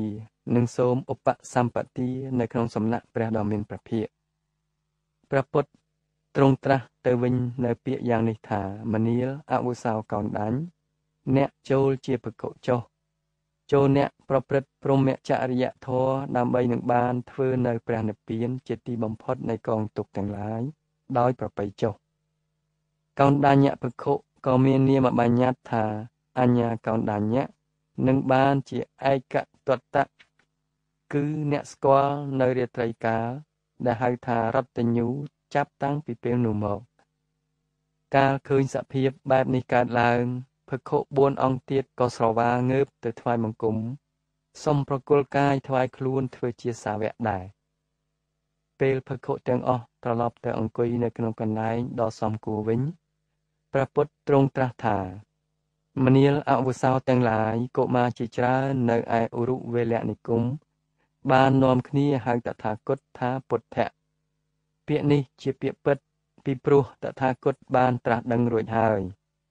បញ្ចវគិយភិក្ខុបានសរសើរនៅគំនិតដ៏អស្ចារ្យនៃកុមារទាំងនោះ ក្នុងការប្រសិទ្ធនាមដែលមានន័យដ៏ល្អត្រឹមត្រូវ ហើយបានមូលមតិទទួលព្រះសមណគោដមធ្វើជាមហាសាសនាចារ្យហើយហៅព្រះអង្គថាព្រះពុទ្ធព្រះពុទ្ធតរៀងទៅព្រះពុទ្ធទ្រង់ញញឹមនិងមានពុទ្ធដីកាថា សូមអ្នកទាំងឡាយខំហាត់រៀនដោយវិរិយភាព នៅគំនិតទូលំទូលាយនិងវៃឆ្លាត ក្នុងរយៈតែ3ខែប៉ុណ្ណោះអ្នកនឹងបានសម្រេចផលនៃពន្លឺត្រាស់ដឹងជាប្រកបហើយដោយមានវិរិយភាពដ៏ខ្ពង់ខ្ពស់បញ្ចវគិយភិក្ខុបានយល់នៅព្រមចរិយធម៌នៃការត្រាស់ដឹងយ៉ាងឆាប់រហ័សបំផុត អញ្ញាកោនដាញ្ញភិក្ខុ បានសម្រេចនៅលោកតរធម៌មុនគេបង្អស់គឺបានសម្រេចសោតាបតិផល នៅក្នុងថ្ងៃ15កើតខែពេញបូរមីខែអាសាឍឆ្នាំរកា បន្ទាប់មកព្រះមានប្រភិយទ្រង់ប្រទានអេហិភិក្ខុដល់វបៈក្នុងថ្ងៃ1រោចដល់ភតិយៈក្នុងថ្ងៃ2រោចដល់មហានាមក្នុងថ្ងៃ3រោចនិងដល់អសជិក្នុងថ្ងៃ4រោចភិក្ខុ ទាំង5អង្គបានទទួលឧបសម្បទាជាអេហិភិក្ខុនិងបានប្រព្រឹត្តនៅព្រមចរិយធម៌ដើម្បីធ្វើនៅទីបំផុតនៃទុក្ខលុះព្រឹកស្អែកឡើងថ្ងៃ5រោចខែនឹងឆ្នាំដដែលព្រះពុទ្ធទ្រង់តតឃើញឧបនិស្ស័យព្រះអរហន្តកើតមានដល់បញ្ចវគិទើបព្រះអង្គត្រាស់ហៅភិក្ខុទាំងឡាយមក ហើយទ្រង់សម្ដែងនៅអនត្តលក្ខណៈសូត្រប្រាប់ថា បញ្ចខណ្ឌគឺជាសភាវៈមិនបានប្រព្រឹត្តនៅក្នុងអំណាចទេសុទ្ធតែមិនមែនជារបស់នៃខ្លួនអនត្តា និងមិនទៀងគឺអនិច្ចាព្រះពុទ្ធទ្រង់បានពន្យល់បញ្ចវគិយភិក្ខុឲ្យពិនិត្យច្បាស់លាស់ទៅលើបញ្ចខណ្ឌគឺរូបខណ្ឌមួយវេទនាខណ្ឌមួយសញ្ញាខណ្ឌមួយសង្ខារខណ្ឌមួយ និងវិញ្ញាណខណ្ឌមួយ ដែលទុកដូចជាស្ទឹងទាំង5ហូរពុំចេះឈប់ឈរនៅក្នុងវាលវដ្តសង្សារដូច្នេះគ្មានអ្វីដែលគួរថាសភាវៈទាំងអស់ជារបស់នៃខ្លួន ឬមានការទាំងទៀងទាត់ឡើយព្រះពុទ្ធទ្រង់បញ្ជាក់បន្ថែមថាមនាលភខុទាំងឡាយរូបកាយជាវត្ថុអនត្តា គឺមិនមែនជារបស់ខ្លួនឡើយ ប្រសិនបើរូបកាយនេះជារបស់ខ្លួនពិតមែនរូបកាយនេះ មិនគប្បីមានជំងឺដំកាត់ឡើយ ហើយបុគ្គលអាចនិយាយថារូបរបស់អញនេះ ជាយ៉ាងនេះឬក៏ជាយ៉ាងនោះក៏បាន ដោយសាររូបនេះជារបស់អនត្តាដូច្នេះហើយ បានជារូបនេះចេះតែមានជំងឺដំកាត់ហើយបុគ្គលមិនអាចនិយាយថារូបរបស់អញនេះជាយ៉ាងនេះឬជាយ៉ាងនោះបានឡើយ គឺមិនអាចបង្គាប់រូបឲ្យប្រព្រឹត្តទៅតាមអំណាចខ្លួនបាន។ មនាលភខុទាំងឡាយវេទនាក៏មិនមែនជារបស់ខ្លួន សញ្ញាក៏មិនមែនជារបស់ខ្លួន សង្ខារក៏មិនមែនជារបស់ខ្លួន និងវិញ្ញាណក៏មិនមែនជារបស់ខ្លួន ដូច្នេះខណ្ឌទាំង5គឺជារបស់អនត្តាមនាលភខុទាំងឡាយតើអ្នកដែលបានសម្គាល់ឃើញថារូបកាយទៀងឬមិនទៀងទេ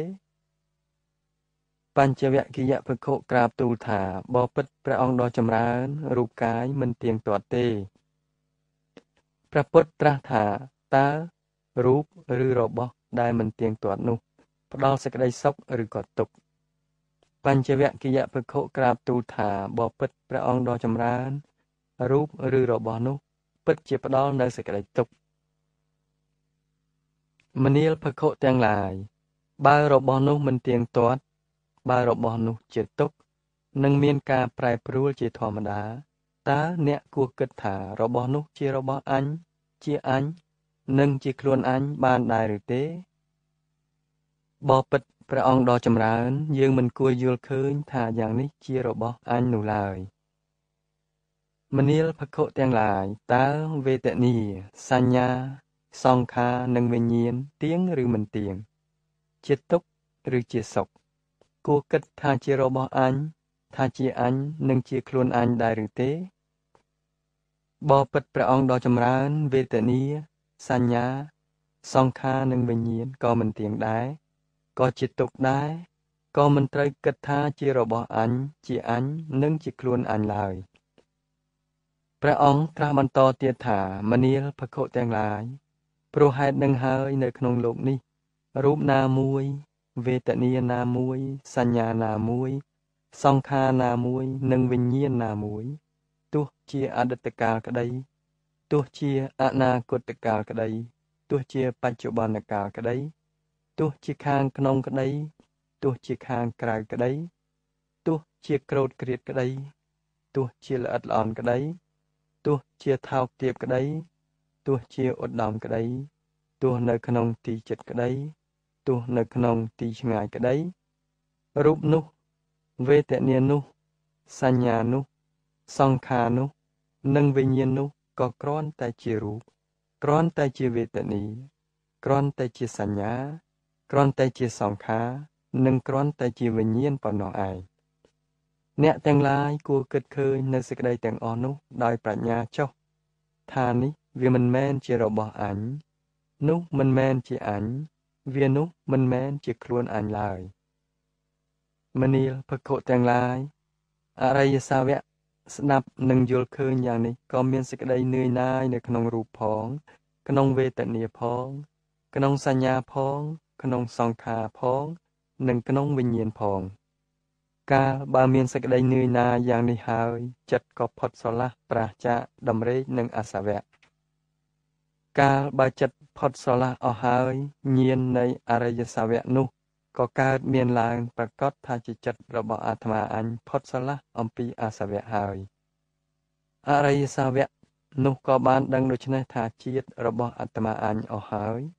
មគ្គព្រមចរិយាធម៌របស់អាត្មាអញក៏បានទៅផុតហើយ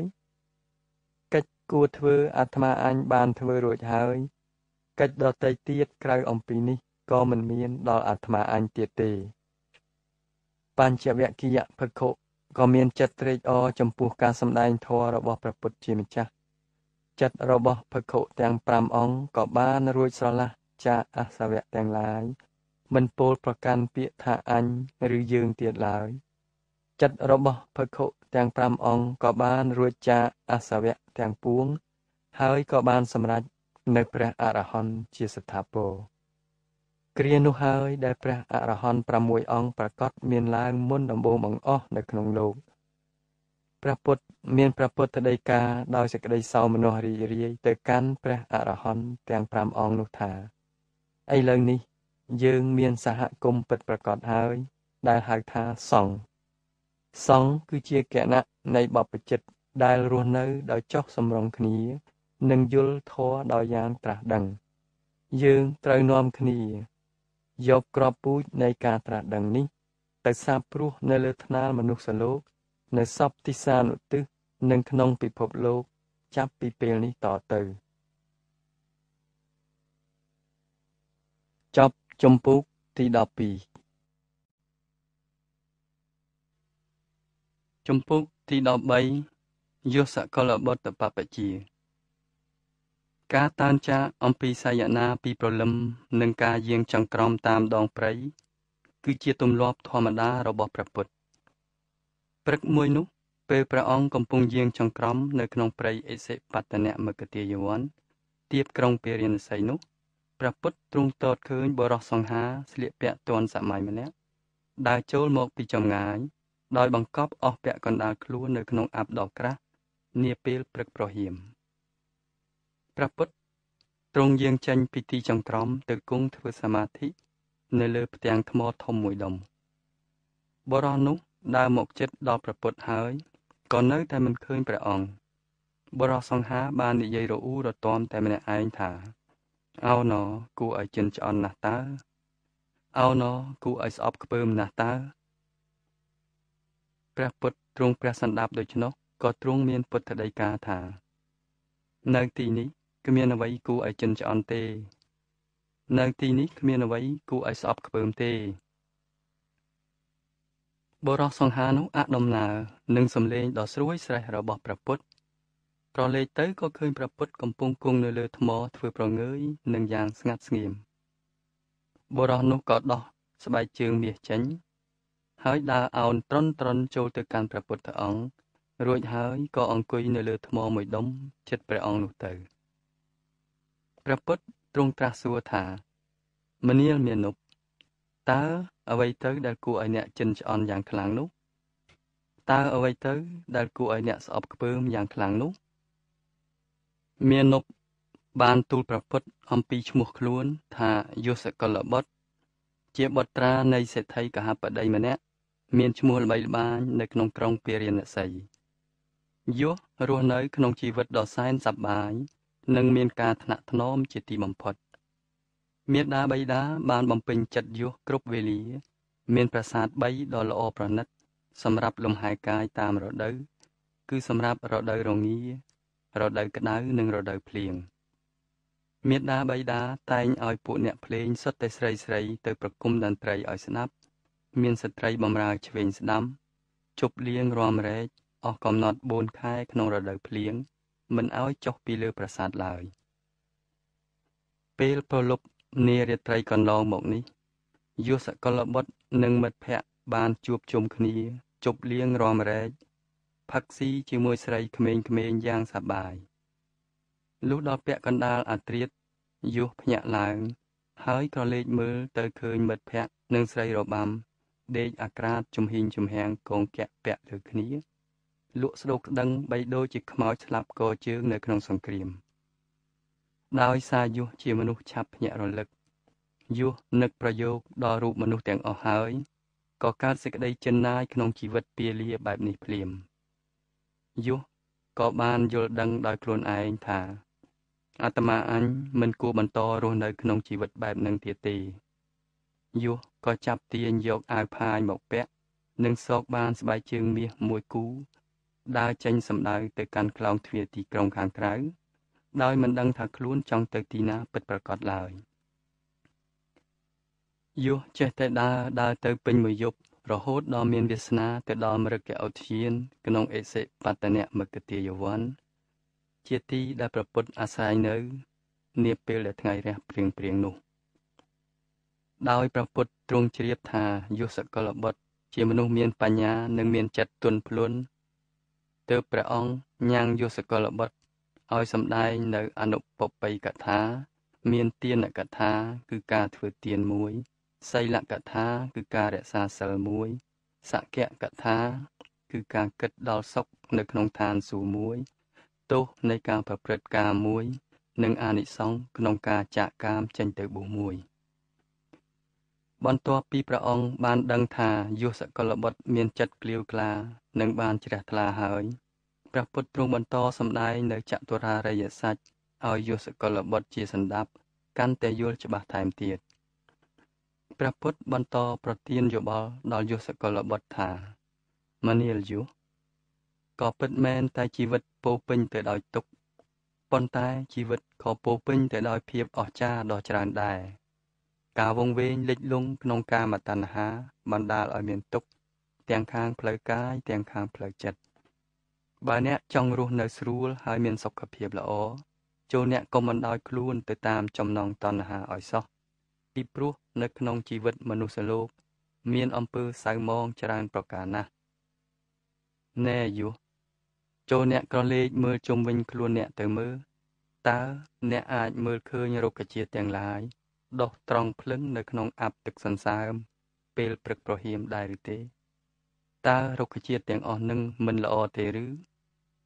ព្រះច័ន្ទដួងតារាស្ទឹងបឹងបួរទន្លេព្រៃភ្នំក្រំថ្មពន្លឺព្រះអាទិត្យសំនៀងនៃសត្វបាក់សាបាក់សីនិងស្នូខ្យល់រដូវ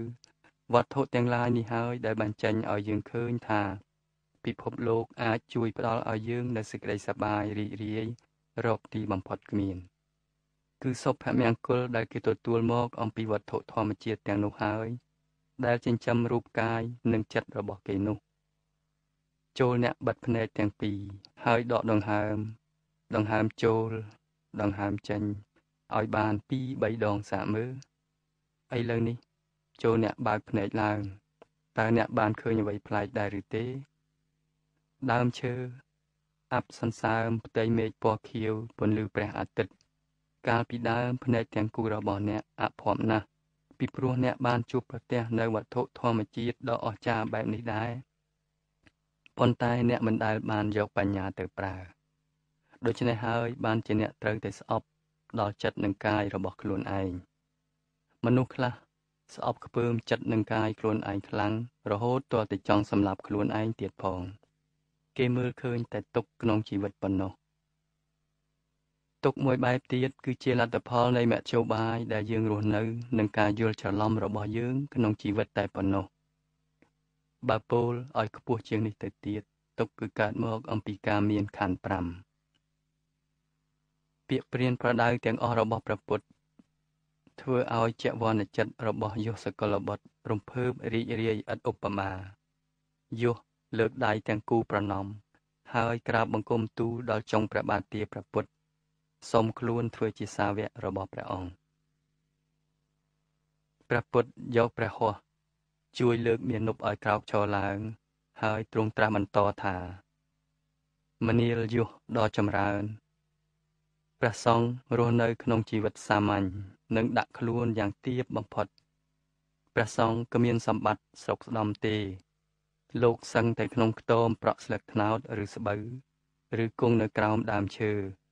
លោកឆាន់តែម្ហូបអាហារដែលបរិស័ទប្រគេនហើយឆាន់តែក្នុងមួយពេលក្នុងមួយថ្ងៃទៀតផងតើអ្នកអាចរស់ក្នុងជីវិតអ្នកបួសបែបនឹងបានដែរឬទេបបិទ្ធព្រះអង្គដ៏ចម្រើនខ្ញុំព្រះអង្គសប្បាយចិត្តនឹងរស់នៅក្នុងជីវិតជាអ្នកបួសបែបនេះណាស់ មនាលយុសដ៏ចម្រើនព្រះសង្ឃបូជាអស់ពីកម្លាំងកាយនិងចិត្តរបស់ខ្លួន ចំពោះការត្រាស់ដឹង ដើម្បីជួយដល់ខ្លួនឯងផង និងជួយដល់អ្នកដទៃផ្សេងទៀតផង លោកខំប្រឹងប្រែងអស់ពីសមត្ថភាព ដើម្បីជួយសម្រាលទុក្ខដល់សពសត្វលោកមនាលយុសកលបុត្រតើអ្នកហ៊ានបដិញ្ញាថានឹងដើរតាមមាគ៌ានៃពន្លឺត្រាស់ដឹងនេះ បានដែរឬទេបបិទ្ធ ព្រះអង្គដ៏ចម្រើន ទូលបង្គំសន្យាថានឹងប្រតិបត្តិតាមមាគ៌ានេះបានដូច្នេះតថាគតសុខចិត្តទទួលយុះធ្វើជាសាវករបស់តថាគតហើយ សាវកនៅក្នុងគណៈនេះឈ្មោះថាភឹក្ខុជារៀងរាល់ថ្ងៃអ្នកត្រូវតែនិមន្តចេញទៅបិណ្ឌបាតតាមលំដាប់ផ្ទះអ្នកស្រុក ដើម្បីយកចង្ហាន់បណ្ឌបាតនោះមកចិញ្ចឹមខ្លួនផង ដើម្បីហាត់បំពុតចិត្តបន្ទាបខ្លួនផង និងហាត់ប្រស័យតាក់ទងជាមួយអ្នកស្រុកផង និងដើម្បីអប់រំដល់អ្នកស្រុកទាំងឡាយនោះ នៅព្រមចរិយធម៌ផងលំដាប់នោះស្រាប់តែបញ្ចវគិយភិក្ខុជាបឋមសាវករបស់ព្រះពុទ្ធចូលមកដល់យុះក្រោកឈរហើយក៏ធ្វើនៅវន្តនកិច្ចដល់បញ្ចវគិយភិក្ខុម្ដងមួយអង្គម្ដងមួយអង្គរហូតដល់ចប់ ព្រះពុទ្ធបានបង្ហាញបញ្ចវគិយភិក្ខុឲ្យស្គាល់យុសកលបុត្ររួចក៏ព្រះអង្គបែរព្រះភ័ក្ត្រទៅរកកោណ្ឌញ្ញភិក្ខុហើយត្រាស់ថាមនាលកោណ្ឌញ្ញយុសក៏មានបំណងចង់សាងភ្នោះដែរតថាគតបានយល់ព្រមរួចហើយសូមអ្នកជួយបង្ហាត់បង្ហាញយុសឲ្យចេះក្រងស្បង់ជីពោត្របាត កំណត់ដង្ហើមចេញចូល និងអង្គុយឬដើរចង្ក្រមភាវនាផង ចំណែកខាងមេដាបៃតារបស់យុះវិញ កាលបានដឹងថាបុត្រាស្ងួនសម្លាញ់ចេញបាត់ពីប្រាសាទដូច្នោះក៏ចាត់ឲ្យគេដើររកបុត្រគ្រប់ទិសទីអស់មួយព្រឹកមកហើយ នៅតែរកមិនឃើញ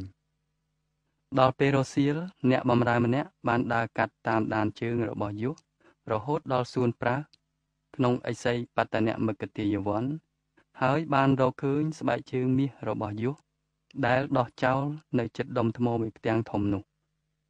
បន្ទាប់ពីបានសាកសួរដឹងដំណឹងថា លោកម្ចាស់យុសរបស់ខ្លួន កំពុងតែស្នាក់នៅជាមួយភិក្ខុសង្ឃមួយចំនួននៅក្នុងទីនោះមកអ្នកបម្រើក៏រូតរះត្រឡប់ទៅជម្រាបដល់បៃតារបស់យុសវិញកាលបានជ្រាបនៅការពិតដូច្នេះហើយបៃតារបស់យុះក៏ប្រញាប់ធ្វើដំណើរទៅជួប ដើម្បីឲ្យអស់សង្ស័យពេលចូលទៅដល់សួនប្រើ គាត់បានឃើញព្រះពុទ្ធកំពុងគង់ធ្វើសមាធិយ៉ាងស្ងាត់ស្ងៀមតែមួយព្រះអង្គឯងនៅលើផ្ទាំងថ្មមួយដុំកហបតីក៏លើកដៃទាំងគូសំពះដោយគោរពហើយទូលសួរថា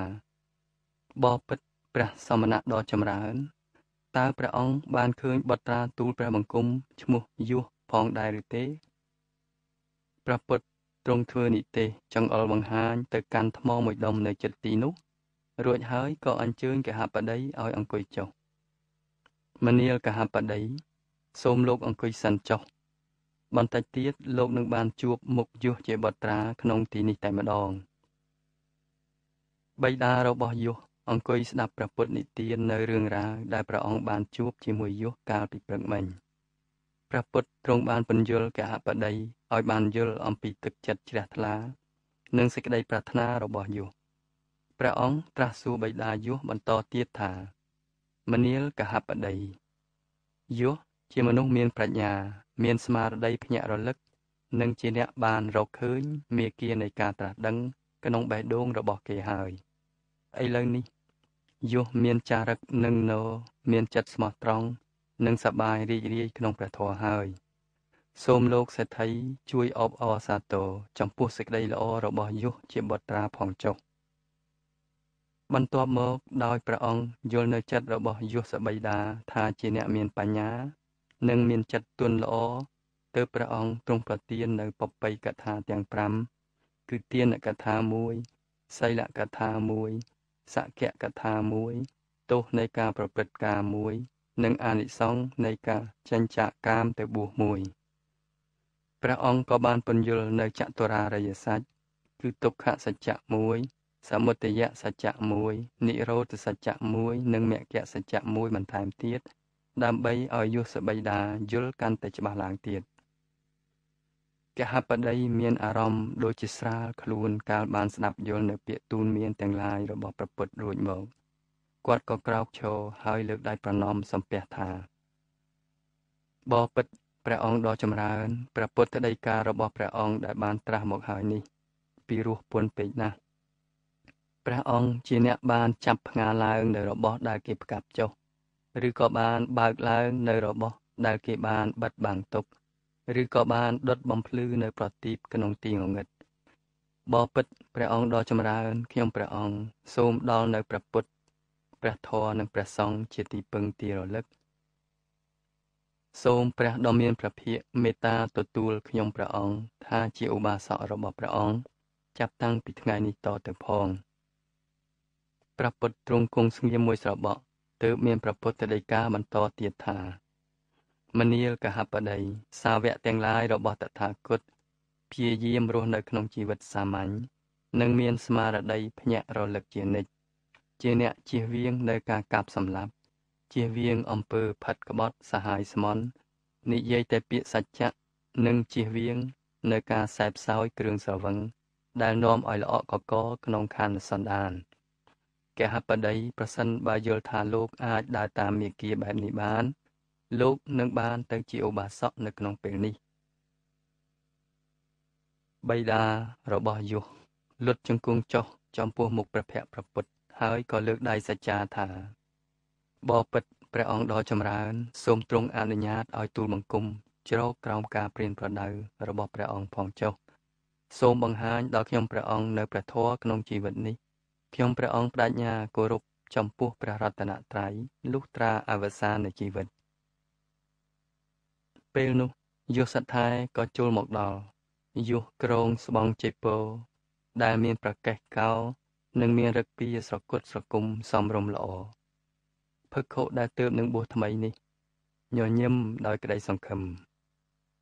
យោសបៃតាមិនដែលឃើញបុត្ររបស់ខ្លួនសប្បាយចិត្តដូចជាថ្ងៃនេះសោះ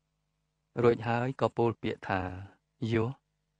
មេដារបស់អ្នក មានសេចក្តីខ្សឹកខ្សួលខ្លាំងណាស់សូមលោកម្ចាស់ប្រទានជីវិតដល់មេដារបស់លោកម្ចាស់ផង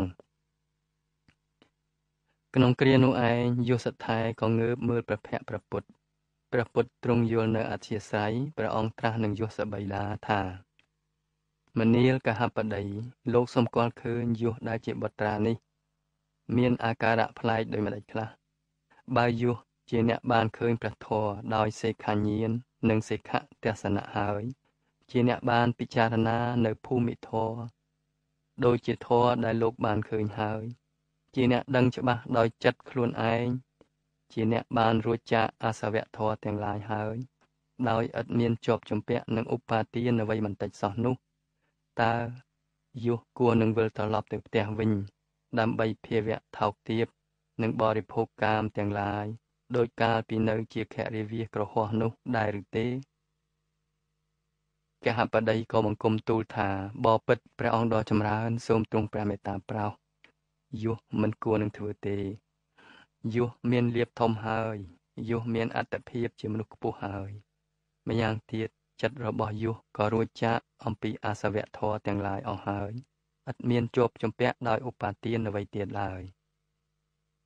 យុសថែបានងាកមើលមុខបៃតារួចហើយក៏មានសង្កដីកាថា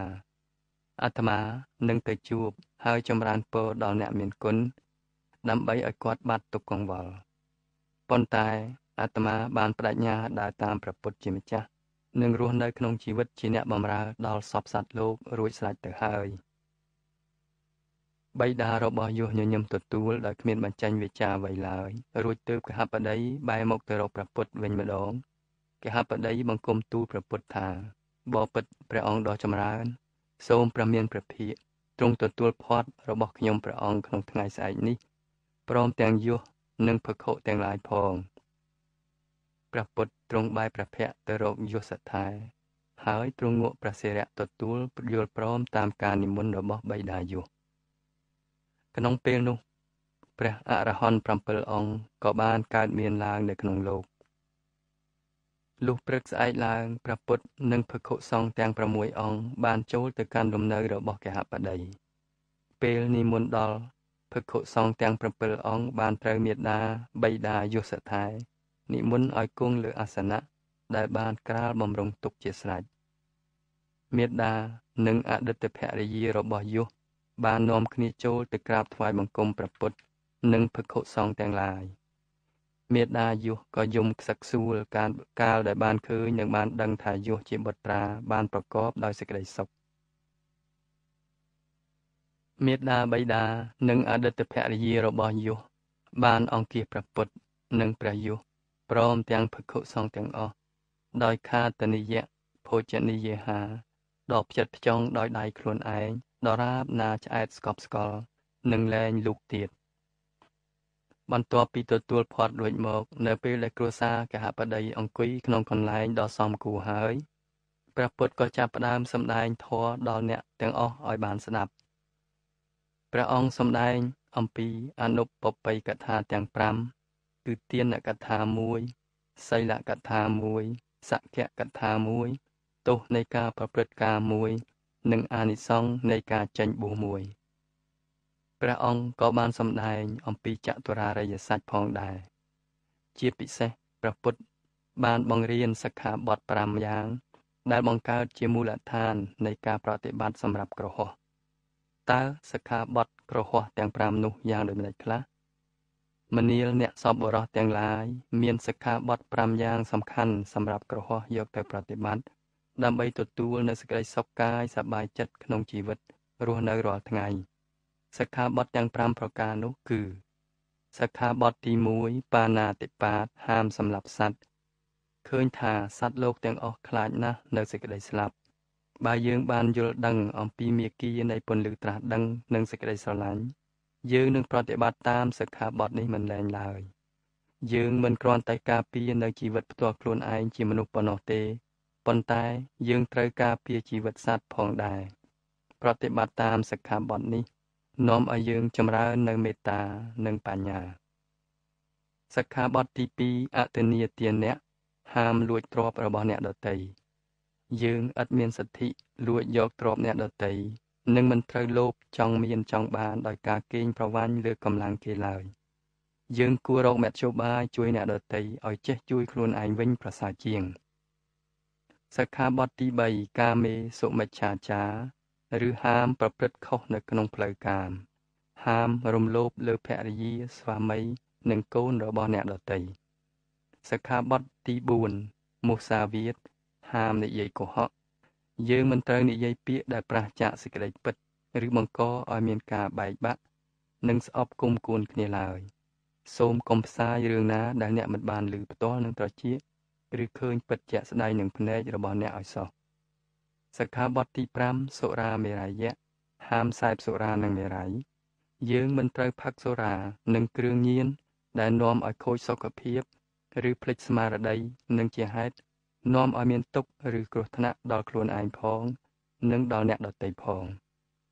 មនាលសពបរោះទាំងឡាយបើលោកអ្នករស់នៅក្នុងគំនិតនៃសិក្ខាបទទាំង5នេះលោកអ្នកប្រកាសជាអាចជៀសផុតអំពីទុក្ខនិងការរកម្មរកូសសម្រាប់ទាំងខ្លួនឯងផង សម្រាប់គ្រួសារផង និងសម្រាប់មិត្តភ័ក្តិដទៃទៀតផង ការប្រតិបត្តិតាមសិក្ខាបទទាំង5ប្រការនេះ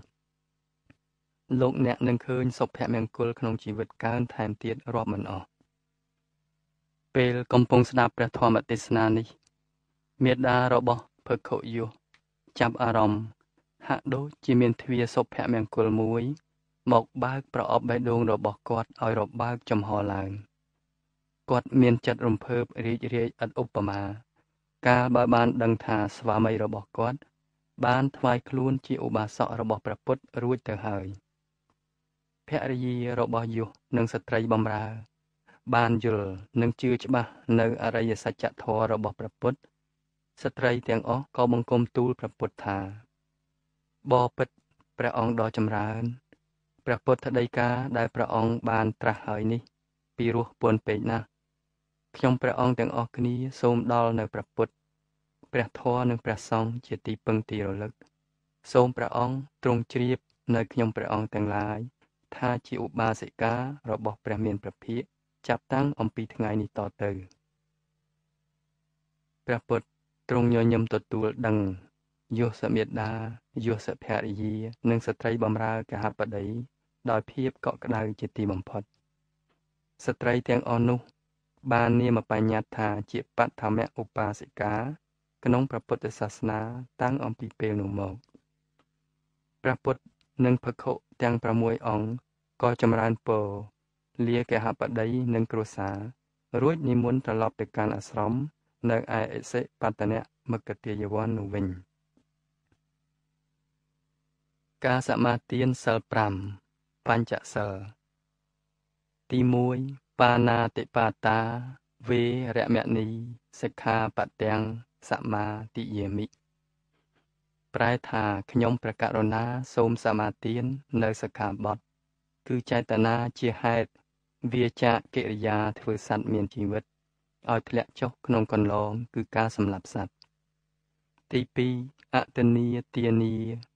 វេរមណីសិក្ខាបទាំងសមាទិយាមិ ប្រែថាខ្ញុំព្រះករុណា សូមសមាទាននៅសិក្ខាបទគឺចេតនាជាហេតុវាចាកិរិយា កាន់យកវត្ថុដែលម្ចាស់គេមិនបានឲ្យទី3កាមេសុមិច្ឆាចារា វេរមណីសិក្ខាបទាំងសមាទិយាមិប្រែថាខ្ញុំព្រះករុណាសូមសមាទាននៅសិក្ខាបទគឺចេតនាជាហេតុវាចាកិរិយាប្រព្រឹត្តខុសក្នុងកាមទាំងឡាយ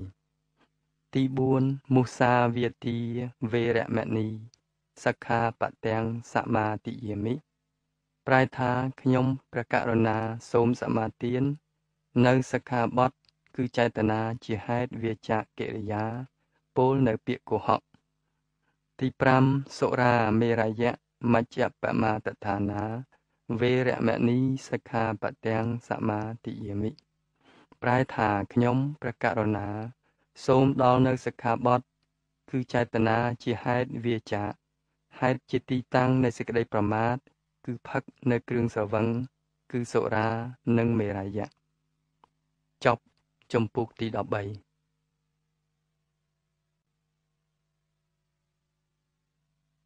ជំពូកទី14ព្រះត្រៃសរណគម ដំណឹងស្ដីអំពីយុសកលបុត្រចូលបួសជាភិក្ខុនៅក្នុងសំណាក់ព្រះសាស្តាចារ្យ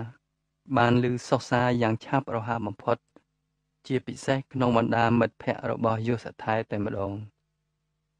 មិត្តស្និទ្ធស្នាលនិងភិក្ខុយុសចំនួន4នាក់ដែលសុទ្ធសឹងជាបុត្រានៃត្រកូលសេដ្ឋីនិងអនុសេដ្ឋីក្នុងក្រុងពេរាណសី គឺវិមល1សុភាហុ1បណ្ណជី1 និងកវបតិ1កាលបានលើកដំណឹងថាយុះជាសម្លាញ់កោសក់និងពុកមាត់ពុកចង្ការ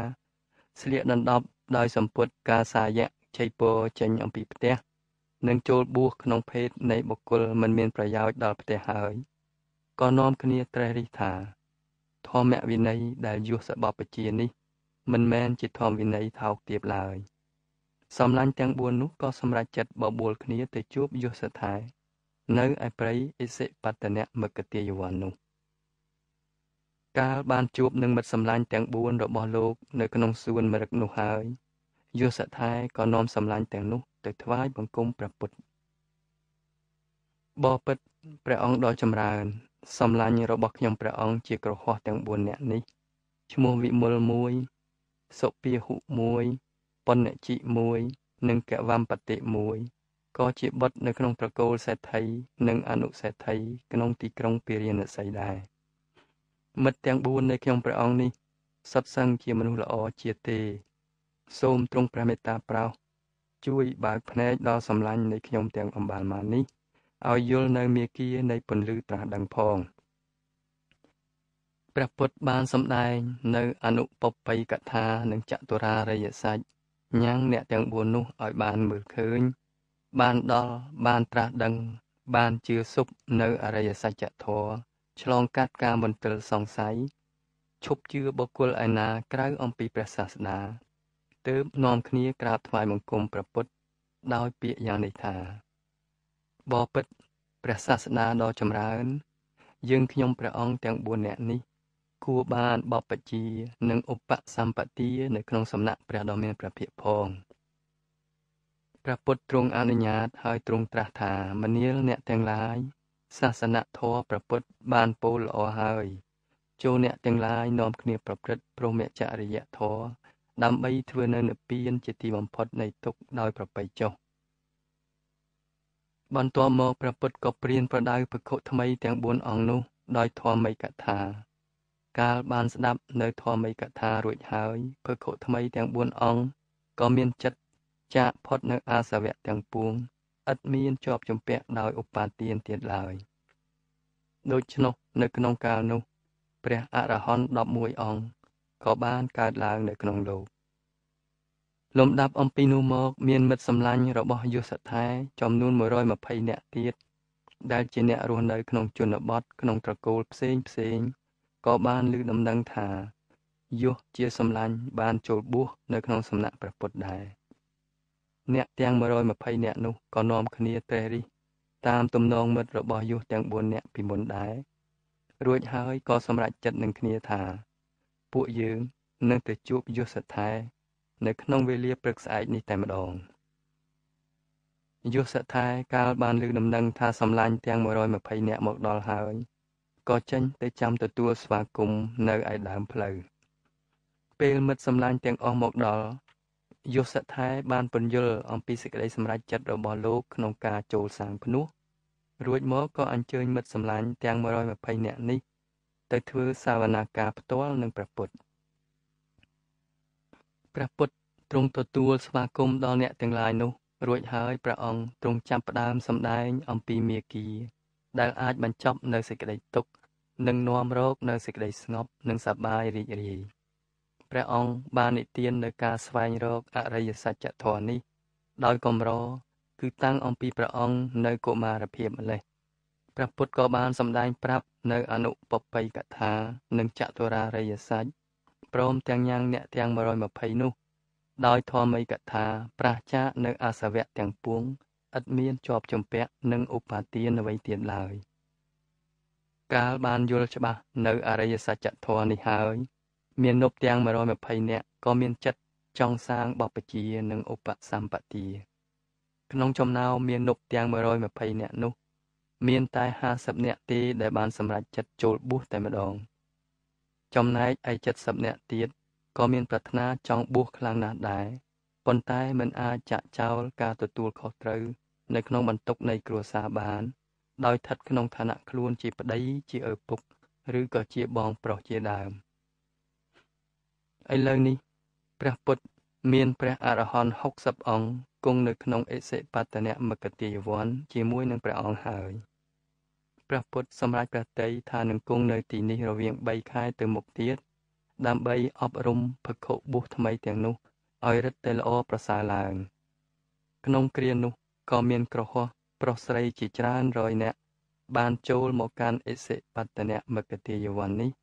ដើម្បីសូមប្រគល់កាយថ្វាយខ្លួនធ្វើជាឧបាសកនិងឧបាសិកានៃព្រះមានព្រះភិក្ខដែរ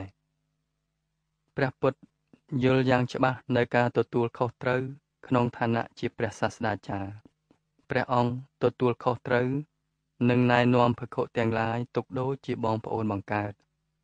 ព្រះអង្គរំលែកការទទួលខុសត្រូវជាមួយនឹងបញ្ចវគិយភិក្ខុ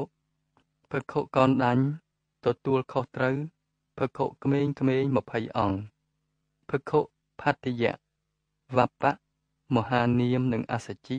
ក្នុងមួយអង្គមួយអង្គទទួលខុសត្រូវភិក្ខុក្មេងក្មេង10អង្គភិភិក្ខុបួសថ្មីមានការរីកចម្រើនយ៉ាងខ្លាំងនៅក្នុងមាគ៌ាសិក្សាធម៌វិន័យដោយព្រះអង្គបានទតឃើញនៅការរីកដុះដាលខាងគំនិតប្រាជ្ញានៃពួកភិក្ខុទាំង60អង្គនោះហើយព្រះពុទ្ធក៏ទ្រង់បើក នៅអង្គសន្និបាតមួយហើយទ្រង់ត្រាស់បញ្ជាក់ថាមនាលភិក្ខុទាំងឡាយយើងទាំងអស់គ្នាមានសេរីភាពបរិបូរណ៍ហើយ យើងបានយល់ច្បាស់នៅមេគានៃការត្រាស់ដឹងហើយ យើងបានរួចអំពីអន្ទាក់ទាំងអស់ហើយទោះជាអន្ទាក់របស់ទេវតាក្តី ឬក៏របស់មនុស្សលោកក្តី អ្នកទាំងឡាយអាចត្រាច់ទៅកាន់ចារឹកនៃស្រុកភូមិជនបទផ្សេងផ្សេងក្នុងឋានៈជាមនុស្សទំនេរ ហើយសម្ដែងនៅព្រមចរិយធម៌ដែលអ្នកចេះចាំស្ទាត់នោះ ដើម្បីជាប្រយោជន៍ដើម្បីសេចក្តីសុខដើម្បីអនុគ្រោះដល់ជនដ៏ច្រើន ដល់ទេវតានិងមនុស្សលោកទាំងឡាយចូលអ្នកទាំងឡាយកុំទៅពីរអ្នកនៅក្នុងផ្លូវតែមួយចូលអ្នកសំដែងធម៌ពីរោះនៅបត់ខាងដើម នៅបត់កណ្ដាលនិងបត់ខាងចុងចូលអ្នកទាំងឡាយប្រកាសនៅព្រមចរិយធម៌ ប្រកបដោយអត្ថន័យនិងភញ្ជនៈពេញបរិបូរណ៍ដើម្បីសត្វលោកទាំងឡាយដែលមានរាគាតិកិលេសតិចឬក៏បំរុងនឹងត្រាស់ដឹងនោះឲ្យបានត្រាស់ដឹងផងមនាលភខុទាំងឡាយចំណែកឯតថាគតវិញ ដល់ពេលចេញវសាក៏នឹងទៅកាន់ឧរុវេលសេនានិគមដែលជាស្រុកកំណើតរបស់នាងសុជាតា ដើម្បីនឹងសម្ដែងនៅធម៌ដែរប៉ុន្តែមុននឹងទៅដល់ឧរុវេលៈនោះ តថាគតក៏ចង់ឆ្លៀតចូលទៅទស្សនាដើមពោធិព្រឹកនិងសួរសុខទុក្ខដល់ពួកកុមារនៅទីនោះដែរលុះចេញពីឧរុវេលានោះមកទើបតថាគតចូលទៅគាល់ព្រះបាទពំពិសានៅឯទីក្រុងរាជក្រឹស្ទៀតបន្ទាប់ពីបានទទួលនៅពុទ្ធដីការបស់ព្រះសាស្តាហើយភិក្ខុមួយចំនួនធំក៏ក្រងដោយស្បង់ជ័យពោនិងបិណ្ឌបាតនិមន្តចេញទៅផ្សព្វផ្សាយធម៌ នៅតាមទីកន្លែងផ្សេងផ្សេងគ្នាព្រះពុទ្ធនិងភិក្ខុ20អង្គទៀតនៅគង់ចាំនៅក្នុងអិសិបតនមគតិយវ័ននេះនៅឡើយកាលបានស្ដាប់នៅព្រមចរិយធម៌ដែលភិក្ខុទាំងឡាយបានសម្ដែងហើយ មានពួកប្រហោះជាច្រើន អំពីជនបទនិងទិសផ្សេងផ្សេងនៅក្នុងនគរកាសីនិងមគធៈបាននាំគ្នាសុំចូលសាងភ្នោះក្នុងសំណាក់ព្រះមានព្រះភិក្ខ អ្នកខ្លះសុំបួសជាសាមណេរអ្នកខ្លះសុំបួសជាភិក្ខុហើយបុគ្គលម្នាក់ម្នាក់សុទ្ធតែគិតចង់បានទទួលការបំពោះផ្ទាល់អំពីព្រះពុទ្ធតែម្ដងដូច្នេះបញ្ហាលំបាកនៅក្នុងការបំពោះក៏កើតមានឡើងដល់ព្រះអរហន្តនិងដល់បុគ្គលប្រាថ្នាអ្នកបួសនោះផងព្រះពុទ្ធទ្រង់បានពិចារណានៅរឿងលំបាកនេះអស់ពេលមួយព្រឹកធំ លុះដល់ពេលរសៀលទើបព្រះអង្គហៅភិក្ខុសង្ឃទាំងឡាយមកប្រជុំហើយត្រាស់សម្ដែងថាមនាលភិក្ខុទាំងឡាយតថាគតយល់ថាពុំមែនជាការចាំបាច់ឲ្យតថាគតបំពោះផ្ទាល់នៅក្នុងអិសិបតនៈមគតិយវនេះទេ ចាប់ពីពេលនេះតទៅតថាគតអនុញ្ញាតឲ្យជនណា ដែលមានបំណងចង់បួសជាសាមណេរក្តី ជាភិក្ខុក្តី អាចធ្វើទៅតាមភូមិស្រុកនៃខ្លួនក៏បានឲ្យទៅនៅចំពោះមុខក្រុមគ្រួសារនិងញាតិមិត្តរបស់ខ្លួនតថាគតក៏មានចំណងចេញទៅផ្សាយធម៌ដូចអ្នកទាំងឡាយឲ្យទៀតដែរដូច្នេះតពីនេះទៅ នៅពេលណាឬទីណាក៏ដោយឲ្យតែអ្នកបានជួបនឹងបុគ្គលណាដែលអ្នកមានចិត្តប្រាថ្នាចង់សាងបព្វជិនិងឧបសម្បទាចូលអ្នកទាំងឡាយបំពោះចុះ កោនដាញភិក្ខុក្រោកឈរឡើង ហើយបង្គំទូលសួរថាបបិទ្ធព្រះសាស្តាដ៏ចម្រើន សូមព្រះអង្គបង្ហាញដល់ខ្ញុំព្រះអង្គទាំងឡាយនៅក្បួនសម្រាប់រៀបចំពិធីសាងបព្វជិនិងឧបសម្បទានេះផងចុះអំណះតទៅខ្ញុំព្រះអង្គទាំងឡាយនឹងប្រារព្ធពិធីបំបួសនេះដោយខ្លួនឯងព្រះពុទ្ធក៏ត្រាស់បញ្ជាក់ថាមនាលកោនដាញ់ចូលអ្នកធ្វើតាមទម្លាប់ដែលតថាគត តែងបានប្រតិបត្តិពីមុនមកទៅ ធ្វើតាមរបៀបនេះបានហើយអសជិភគក៏ក្រោកឈរឡើង ហើយបង្គំទូលសួរព្រះពុទ្ធថាបបិទ្ធព្រះមហាសាស្តាជាទីគោរពវត្តមានរបស់ព្រះមានព្រះភិក្ខមានសារៈសំខាន់ណាស់ព្រះអង្គពុំចាំបាច់ធ្វើពិធីនេះជាផ្លូវការក៏បានដែរប៉ុន្តែចំពោះខ្លួនខ្ញុំព្រះអង្គវិញ ត្រូវតែធ្វើពិធីបព្វជិនិងឧបសម្បទានេះឲ្យទៅជាផ្លូវការទើបបានមើលអវុសោកូនដាញ់បើតាមខ្ញុំយល់អវុសោប្រហែលជាអាចជួយផ្ដល់នៅរូបមន្តនៃការបំពោះនេះបានតាន់ព្រះមានព្រះភិក្ខលោកគង់នៅទីនេះជាមួយពួកយើងព្រះអង្គនឹងជួយបន្ថែមទៅលើយោបល់របស់អឧសោឲ្យបានសមរម្យកោនដាញភិក្ខុគង់ស្ងៀមមួយស្របក់ ទើបមានពុទ្ធដីកាថាបបិទ្ធព្រះអង្គដ៏ចម្រើនខ្ញុំព្រះអង្គគិតថាជំហានដំបូងបុគ្គលអ្នកសាងបព្វជិនិងឧបសម្បទាត្រូវកោសក់ពុកមាត់និងពុកចង្កាបន្ទាប់មកអ្នកទាំងនោះត្រូវហាត់រៀននៅរបៀបក្រងស្បង់ជិពោបន្ទាប់ពីរៀនក្រងស្បង់ជិពោរួចមក អ្នកទាំងនោះត្រូវបញ្ចេញស្មាខាងស្ដាំក្នុងរបៀបធម្មតា ហើយលុតជង្គង់ចុះ ចំពោះព្រះភ័ក្ត្រគ្រូឧបជាដែលជាតំណាងព្រះពុទ្ធអ្នកសាងភ្នោះត្រូវលើកដៃទាំងពីរប្រណម្យសំពះដូចជាផ្កាឈូកក្រពុំ ហើយសូត្រនៅពាក្យយ៉ាងនេះថាខ្ញុំព្រះករុណាសូមដល់នៅព្រះពុទ្ធជាទីពឹងទីរលឹកខ្ញុំព្រះករុណាសូមដល់នៅព្រះធម៌ជាទីពឹងទីរលឹកខ្ញុំព្រះករុណាសូមដល់នៅព្រះសង្ឃជាទីពឹងទីរលឹក បន្ទាប់អំពីបានសូត្រតាមព្រះត្រៃសរណគមទាំងនេះចប់ហើយ បុគ្គលអ្នកសាងភ្នោះនោះក៏បានប្រែខ្លួនជាភិក្ខុពេញលក្ខណៈនៅក្នុងគណៈនៃភិក្ខុសង្ឃបបិទ្ធព្រះអង្គដ៏ចម្រើននេះគ្រាន់តែជាការថ្វាយយោបល់ដ៏ស្ដួចស្ដើងនៃខ្ញុំព្រះអង្គប៉ុណ្ណោះសូមព្រះសាស្តាទ្រង់ព្រះមេត្តាប្រោសជួយកែសម្រួលតាមការគូឲ្យទៀនផងព្រះពុទ្ធក៏ទ្រង់ត្រាស់បញ្ជាក់បន្ថែមថាយោបល់នេះ ប្រសើរល្អិតថ្លៃថ្លាណាស់អវសោកនដាញ់ប៉ុន្តែភិក្ខុបំរុងត្រូវតែសូត្រនៅព្រះត្រៃសរណគមនេះជាគម្រប់2ដងផង និងជាគម្រប់3ដងផង នៅពេលលុតជង្គង់ចំពោះព្រះភ័ក្ត្រគ្រូឧបជាធ្វើតែប៉ុណ្ណេះជាការគ្រប់គ្រាន់ក្នុងការប្រែខ្លួនទៅជាភិក្ខុពេញសទ្ធិហើយមនាលភិក្ខុទាំងឡាយតថាគតអនុញ្ញាតនៅបព្វជិនិងឧបសម្បទាដោយព្រះត្រៃសរណគមនេះហើយ ភិក្ខុសង្ឃទាំងឡាយនោះ មានសេចក្តីសប្បាយរីករាយជាខ្លាំងចំពោះសេចក្តីអនុម័តរបស់ព្រះមានព្រះភិក្ខនេះនៅពេលចាញ់វសាព្រះពុទ្ធទ្រង់ត្រាស់នឹងភិក្ខុសង្ឃទាំងឡាយថាមនាលភិក្ខុទាំងឡាយអរហត្តផលវិមុតដ៏ប្រសើរតថាគតបានសម្រេចហើយតថាគតបានធ្វើឲ្យជាក់ច្បាស់ហើយ បានធ្វើទុកនៅក្នុងចិត្តដោយសេចក្តីព្យាយាមរួចហើយ ចំណែកអ្នកទាំងឡាយវិញក៏បានសម្រេច ក៏បានធ្វើឲ្យជាក់ច្បាស់ក៏បានធ្វើទុកក្នុងចិត្តដោយសេចក្តីព្យាយាមនៅអរហត្តផលវិមុតដ៏ប្រសើរហើយដែរព្រះពុទ្ធគង់នៅក្នុងអិសិបតនៈមគតិយវ័ននាក្រុងពេរាណសីនេះ គួសមដល់ពុទ្ធអធិស្ឋ័យហើយទើបទ្រង់ប្រដាប់ដោយស្បង់ជាពោនិងបាតរួចយាងចេញទៅកាន់ឧរុវេលនិគមមុននឹងព្រះអង្គយាងទៅកាន់ក្រុងរាជក្រឹស ព្រះរតនត្រ័យវិសេសថ្លៃ3ប្រការ ដែលមនុស្សនិងទេពតាតែងបូជាគ្រប់ទីឋាន ទី1ព្រះសម្ពុទ្ធបញ្ញាមុតអនន្តញាណព្រះធរទុកដូចយាននាំសត្វបានជាទី2ព្រះសង្ឃបរិសុទ្ធវិសេសផុតស្ងប់អន្ត្រី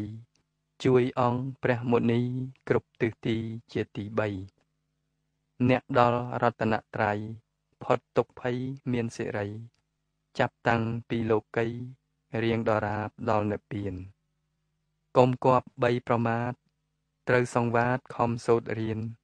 ធរអាព្រះទ្រង់ញៀនកុំបីខានគ្រប់គ្រប់គ្នា ចូលនាំគ្នាបដិបត្តិរៀងរាល់រត់តន្តិវីជោគជ័យសិរីសុខាឈ្នះមេរីគ្រប់គ្នាអង ភគុងិនភេនអន្តបបញ្ញោសូមសមាទានព្រះត្រៃសរណគម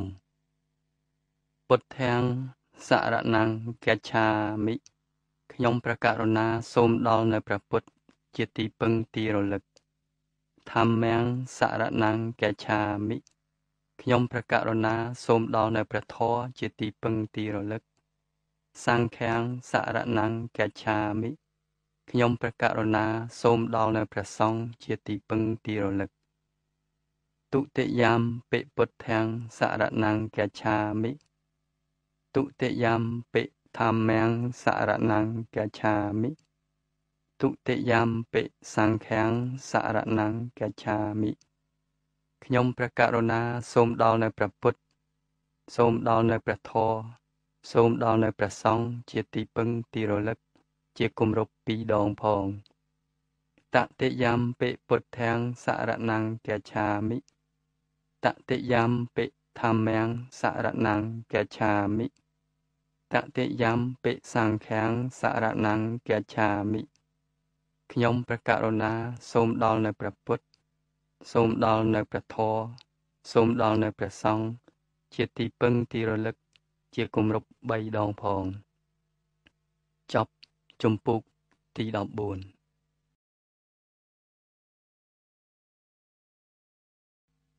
ជំពូកទី15មាននប់30នាក់សាងបព្វជិមុននឹងព្រះអង្គយាងដល់ក្រុងរាជក្រឹសព្រះពុទ្ធត្រូវឆ្លងកាត់ព្រៃធំមួយ នៅតាមដងផ្លូវព្រះអង្គបានជួបជាមួយយុវជនចំនួន30រូប កំពុងច្រៀងរាំកំសាន្តក្នុងព្រៃធំនោះ បន្ទាប់អំពីបានស្ដាប់នៅការទូនមានរបស់ព្រះមានព្រះភិក្ខហើយយុវជនទាំង30រូបក៏សម្រេចចិត្តសុំបួសជាភិក្ខុក្នុងសំណាក់នៃព្រះអង្គនៅក្នុងព្រៃនោះតែម្ដងព្រះពុទ្ធធ្លាប់យាងតាមផ្លូវពីពីរាណសីទៅកាន់មគ្គធៈនេះ ពីមុនមកដែរព្រះអង្គយាងលំហែតាមដងព្រៃនិងវាលស្រែ ពេលនោះព្រះអង្គបានឈប់បណ្ឌបាតនៅក្នុងភូមិតូចមួយតាមដងផ្លូវនិងយកចង្ហាន់បណ្ឌបាតនោះទៅឆាន់ដោយស្ងៀមស្ងាត់នៅក្នុងព្រៃមួយលុះឆាន់រួចហើយក៏ទ្រង់គង់ភាវនានៅទៀបនឹងគល់ឈើមួយបន្ទាប់អំពីព្រះអង្គគង់ភាវនាអស់រយៈមួយសន្ទុះធំមកមានមានុបមួយក្រុមស្លៀកពាក់យ៉ាងស្រស់សង្ហាដើរកាត់ពីមុខព្រះភ័ក្ត្រព្រះអង្គ ហាក់បីដូចជាមានរឿងអ្វីមួយកើតឡើងយុវជនភៀកច្រើន បានកាន់ឧបករណ៍ភ្លេងជាប់នឹងដៃកាលបានឃើញព្រះពុទ្ធគង់ទៀបគល់ឈើនោះយុវជនទាំងអស់ក៏ចូលទៅថ្វាយបង្គំនិងសាកសួរព្រះអង្គជាពាក្យយ៉ាងនេះថាបបិទ្ធព្រះសមណៈតើព្រះអង្គបានឃើញស្ត្រីម្នាក់រត់មកតាមនេះដែរឬទេ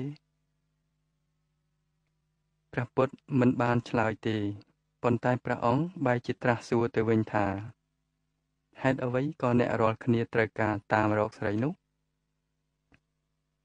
យុវជនទាំងនោះក៏ថ្លែងរៀបរាប់នៅរឿងរបស់ពួកគេ ចាប់តាំងអំពីដើមទីមក ដើម្បីប្រពុតទ្រង់ព្រះសន្តាប់យុវជនទាំងអស់មកពីក្រុងពេរាណសីពួកគេនាំគ្នាដើរកំសាន្តនៅក្នុងព្រៃធំនេះតាំងពីព្រឹកព្រលឹមម្លេះ យុវជនទាំង30នាក់នោះ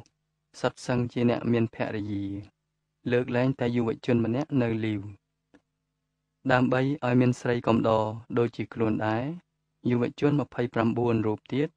ក៏បានចូលទៅជួលស្រីផ្កាមាសម្នាក់ដែលចេះច្រៀងរាំផងនោះឲ្យមកកំដរយុវជននៅលីវនោះយុវជនទាំង30នាក់នាំគ្នាស៊ីផឹករំរែកជាមួយភរិយា និងស្រី ចម្រៀងក្មេងនោះយ៉ាងសប្បាយលុះលមមស្កប់ស្កល់ហើយក៏បបួលគ្នាដេកសម្រាកយកកម្លាំងនៅក្រោមដើមម្លប់ឈើនោះទៅក៏ប៉ុន្តែដល់ពេលក្រោកឡើងទើបពួកគេដឹងថាស្រីរបាំនោះ បានលួចយកបង្វិចនិងគ្រឿងអលង្ការរបស់ពួកគេនឹងរត់គេចខ្លួនបាត់ទៅហើយពួកយុវជនទាំងនោះបាននាំគ្នាស្រែកឆោឡោឡើងហើយនាំគ្នាដេញតាមរកស្រីនោះ រហូតមកបានជួបនឹងព្រះពុទ្ធដែលកំពុងគង់ភាវនាទៀបគល់ឈើនោះឯងព្រះពុទ្ធតតទៅកាន់យុវជនទាំងនោះដោយស្ងាត់ស្ងៀមហើយទ្រង់ត្រាស់ថាមនាលអ្នកទាំងឡាយចូលអ្នកនិយាយប្រាប់តថាគតមកមើលក្នុងពេលនេះតើអ្នកគួរតាមរកស្រីនោះ ឬក៏អ្នកគួរតាមរកខ្លួនអ្នកវិញផ្ទាល់ប្រសើរជាង យុវជនទាំងអស់ស្រឡាំងកាំងអាការៈដ៏ស្រស់ប្រំប្រៃរបស់ព្រះពុទ្ធនិងសំណួរមិនធម្មតារបស់ព្រះអង្គបានធ្វើឲ្យអ្នកទាំងនោះគិតត្រឡប់មករកខ្លួនឯងវិញមានយុវជនម្នាក់ឆ្លើយឡើងថាបបិទ្ធព្រះអង្គដ៏ចម្រើន ប្រហែលជាពួកយើងខ្ញុំត្រូវការស្វែងរកខ្លួនឯងជាមុនសិនហើយទើបប្រសើរជាងព្រះពុទ្ធ ទ្រង់ត្រាស់បន្តថាមនាលអ្នកទាំងឡាយបើដូច្នោះចូលអ្នកអង្គុយចុះសិនមកតថាគតនឹងសម្ដែងធម៌ឲ្យស្ដាប់ពួកយុវជនទាំងនោះក៏លើកដៃប្រណម្យនិងទទួលព្រះពុទ្ធដីកាថាបបិទ្ធព្រះអង្គសូមទ្រង់សម្ដែងមកចុះខ្ញុំព្រះអង្គទាំងឡាយនឹងស្ដាប់មនាលអ្នកទាំងឡាយជីវិត អាចរកឃើញតែក្នុងពេលបច្ចុប្បន្នប៉ុណ្ណោះប៉ុន្តែយើងក៏នៅមានគំនិតបន្តិចបន្តួចដែរនៅក្នុងបច្ចុប្បន្ននេះជំនួសយើងនាំគ្នាប្រដេញតាមរកអតីតកាលឬក៏ទៅរងចាំនៅអនាគតកាលបើយើងគិតថាយើងត្រូវគិតតែអំពីខ្លួនឯងបានហើយប៉ុន្តែតាមពិត យើងស្ទើរមិនទាំងដែលបានគិតរឿងផ្ទាល់ខ្លួនឯងម្ដងសោះផងក៏មានគំនិតរបស់យើងក៏ដូច្នោះដែរ រវល់តែដេញប្រដេញតាមនឹកឃើញពីរឿងម្សិលមិញឬក៏ការស្រមៃឃើញនៅពេលថ្ងៃស្អែកទៅវិញមធ្យោបាយតែមួយគត់ដែលយើងត្រូវគិតដល់គឺយើងត្រូវតែត្រឡប់មករកបច្ចុប្បន្នកាលនេះវិញពេលណាដែលអ្នកដឹងថាយ៉ាងដូចម្ដេចដែលអ្នកត្រូវត្រឡប់ទៅរកបច្ចុប្បន្នកាលវិញនោះ ពេលនោះហើយដែលអ្នកបានប្រែទៅជាមនុស្សភ្ញាក់រលឹក និងពេលនោះហើយដែលអ្នកបានរកឃើញការពិតនៅក្នុងខ្លួន ព្រះពុទ្ធក៏ចាប់ផ្ដើមសម្ដែង នៅអនុពបិយកថា មានទានកថាសីលកថាសក្យកថាទោសនៃការសែបកាម និងអានិសង្សនៃការចេញសាងភ្នោះដោយទ្រង់តតឃើញយុវជនទាំង30នាក់មានចិត្តទន់ភ្លន់មានចិត្តជ្រះថ្លាក៏ព្រះអង្គបន្តសម្ដែងនៅចតុរារិយសច្ចនិងអដ្ឋាង្គិកមៈឲ្យស្ដាប់បន្ថែមទៀត យុវជនទាំង30នាក់ក៏បានឃើញ បានដល់បានត្រាស់ដឹង បានជឿសុខនៅអរិយសច្ចធម៌ឆ្លងផុតអំពីសេចក្តីមន្ទិលសង្ស័យឈប់ជឿបុគ្គលឯណាក្រៅអំពីព្រះសាសនាឡើយទើបនាំគ្នាថ្វាយបង្គំព្រះពុទ្ធជាពាក្យយ៉ាងនេះថាបបិទ្ធព្រះអង្គដ៏ចម្រើន ខ្ញុំព្រះអង្គទាំងឡាយគួរដល់នៅបព្វជិនិងឧបសម្បទាក្នុងសំណាក់ព្រះមានព្រះភិក្ខក្នុងគ្រានេះឯងព្រះពុទ្ធទ្រង់ត្រាស់នឹងផត្តវត្ថយកុមារនោះថាមនាលផត្តវត្ថយកុមារចូលអ្នកទាំងឡាយមកជាភគចុះសាសនាធម៌ព្រះពុទ្ធបានសម្ដែងល្អហើយចូលអ្នកទាំងឡាយប្រព្រឹត្តនៅព្រមចរិយធម៌នេះ ដើម្បីធ្វើនៅព្រះនិព្វានជាទីបំផុតនៃទុក្ខដោយប្របីចុះព្រះពុទ្ធដីកានេះហើយ ជាបព្វជិនិងឧបសម្បទារបស់អ្នក ដែលជាផត្តវគិយភគុនេះព្រះពុទ្ធទ្រង់បង្គាប់ឲ្យពួកផត្តវគិយភគុទាំងនោះ ធ្វើដំណើរតាមផ្លូវទៅកាន់អិសិបតនមគតិយវ័នដើម្បីទទួលការព្រានប្រដៅនៅព្រមចរិយធម៌បន្ថែម អំពីព្រះអញ្ញាកោណ្ដញ្ញភគុព្រះពុទ្ធទ្រង់ផ្ដាំនឹងផតៈវគិយភគុទាំងនោះថាព្រះអង្គនឹងវិលមកជួបជុំអ្នកទាំងអស់គ្នាវិញ នៅក្នុងពេលឆាប់ឆាប់នេះរាត្រីនោះព្រះពុទ្ធសឹងតែមួយព្រះអង្គឯងនៅក្នុងព្រៃព្រឹកស្អែកឡើងទើបព្រះអង្គយាងឆ្លងទន្លេគង្គាឆ្ពោះទៅទិសខាងកើត ព្រះអង្គចង់ចូលទៅសួរសុខទុក្ខក្មេងៗទាំងអស់នៅឯឧរុវេលសេនានិគមសិនមុននឹងព្រះអង្គយាងបន្តពុទ្ធដំណើរឆ្ពោះទៅកាន់ក្រុងរាជក្រឹសដើម្បីចូលគាល់ព្រះបាទពំពិសាមគធរាជចប់ជំពូកទី15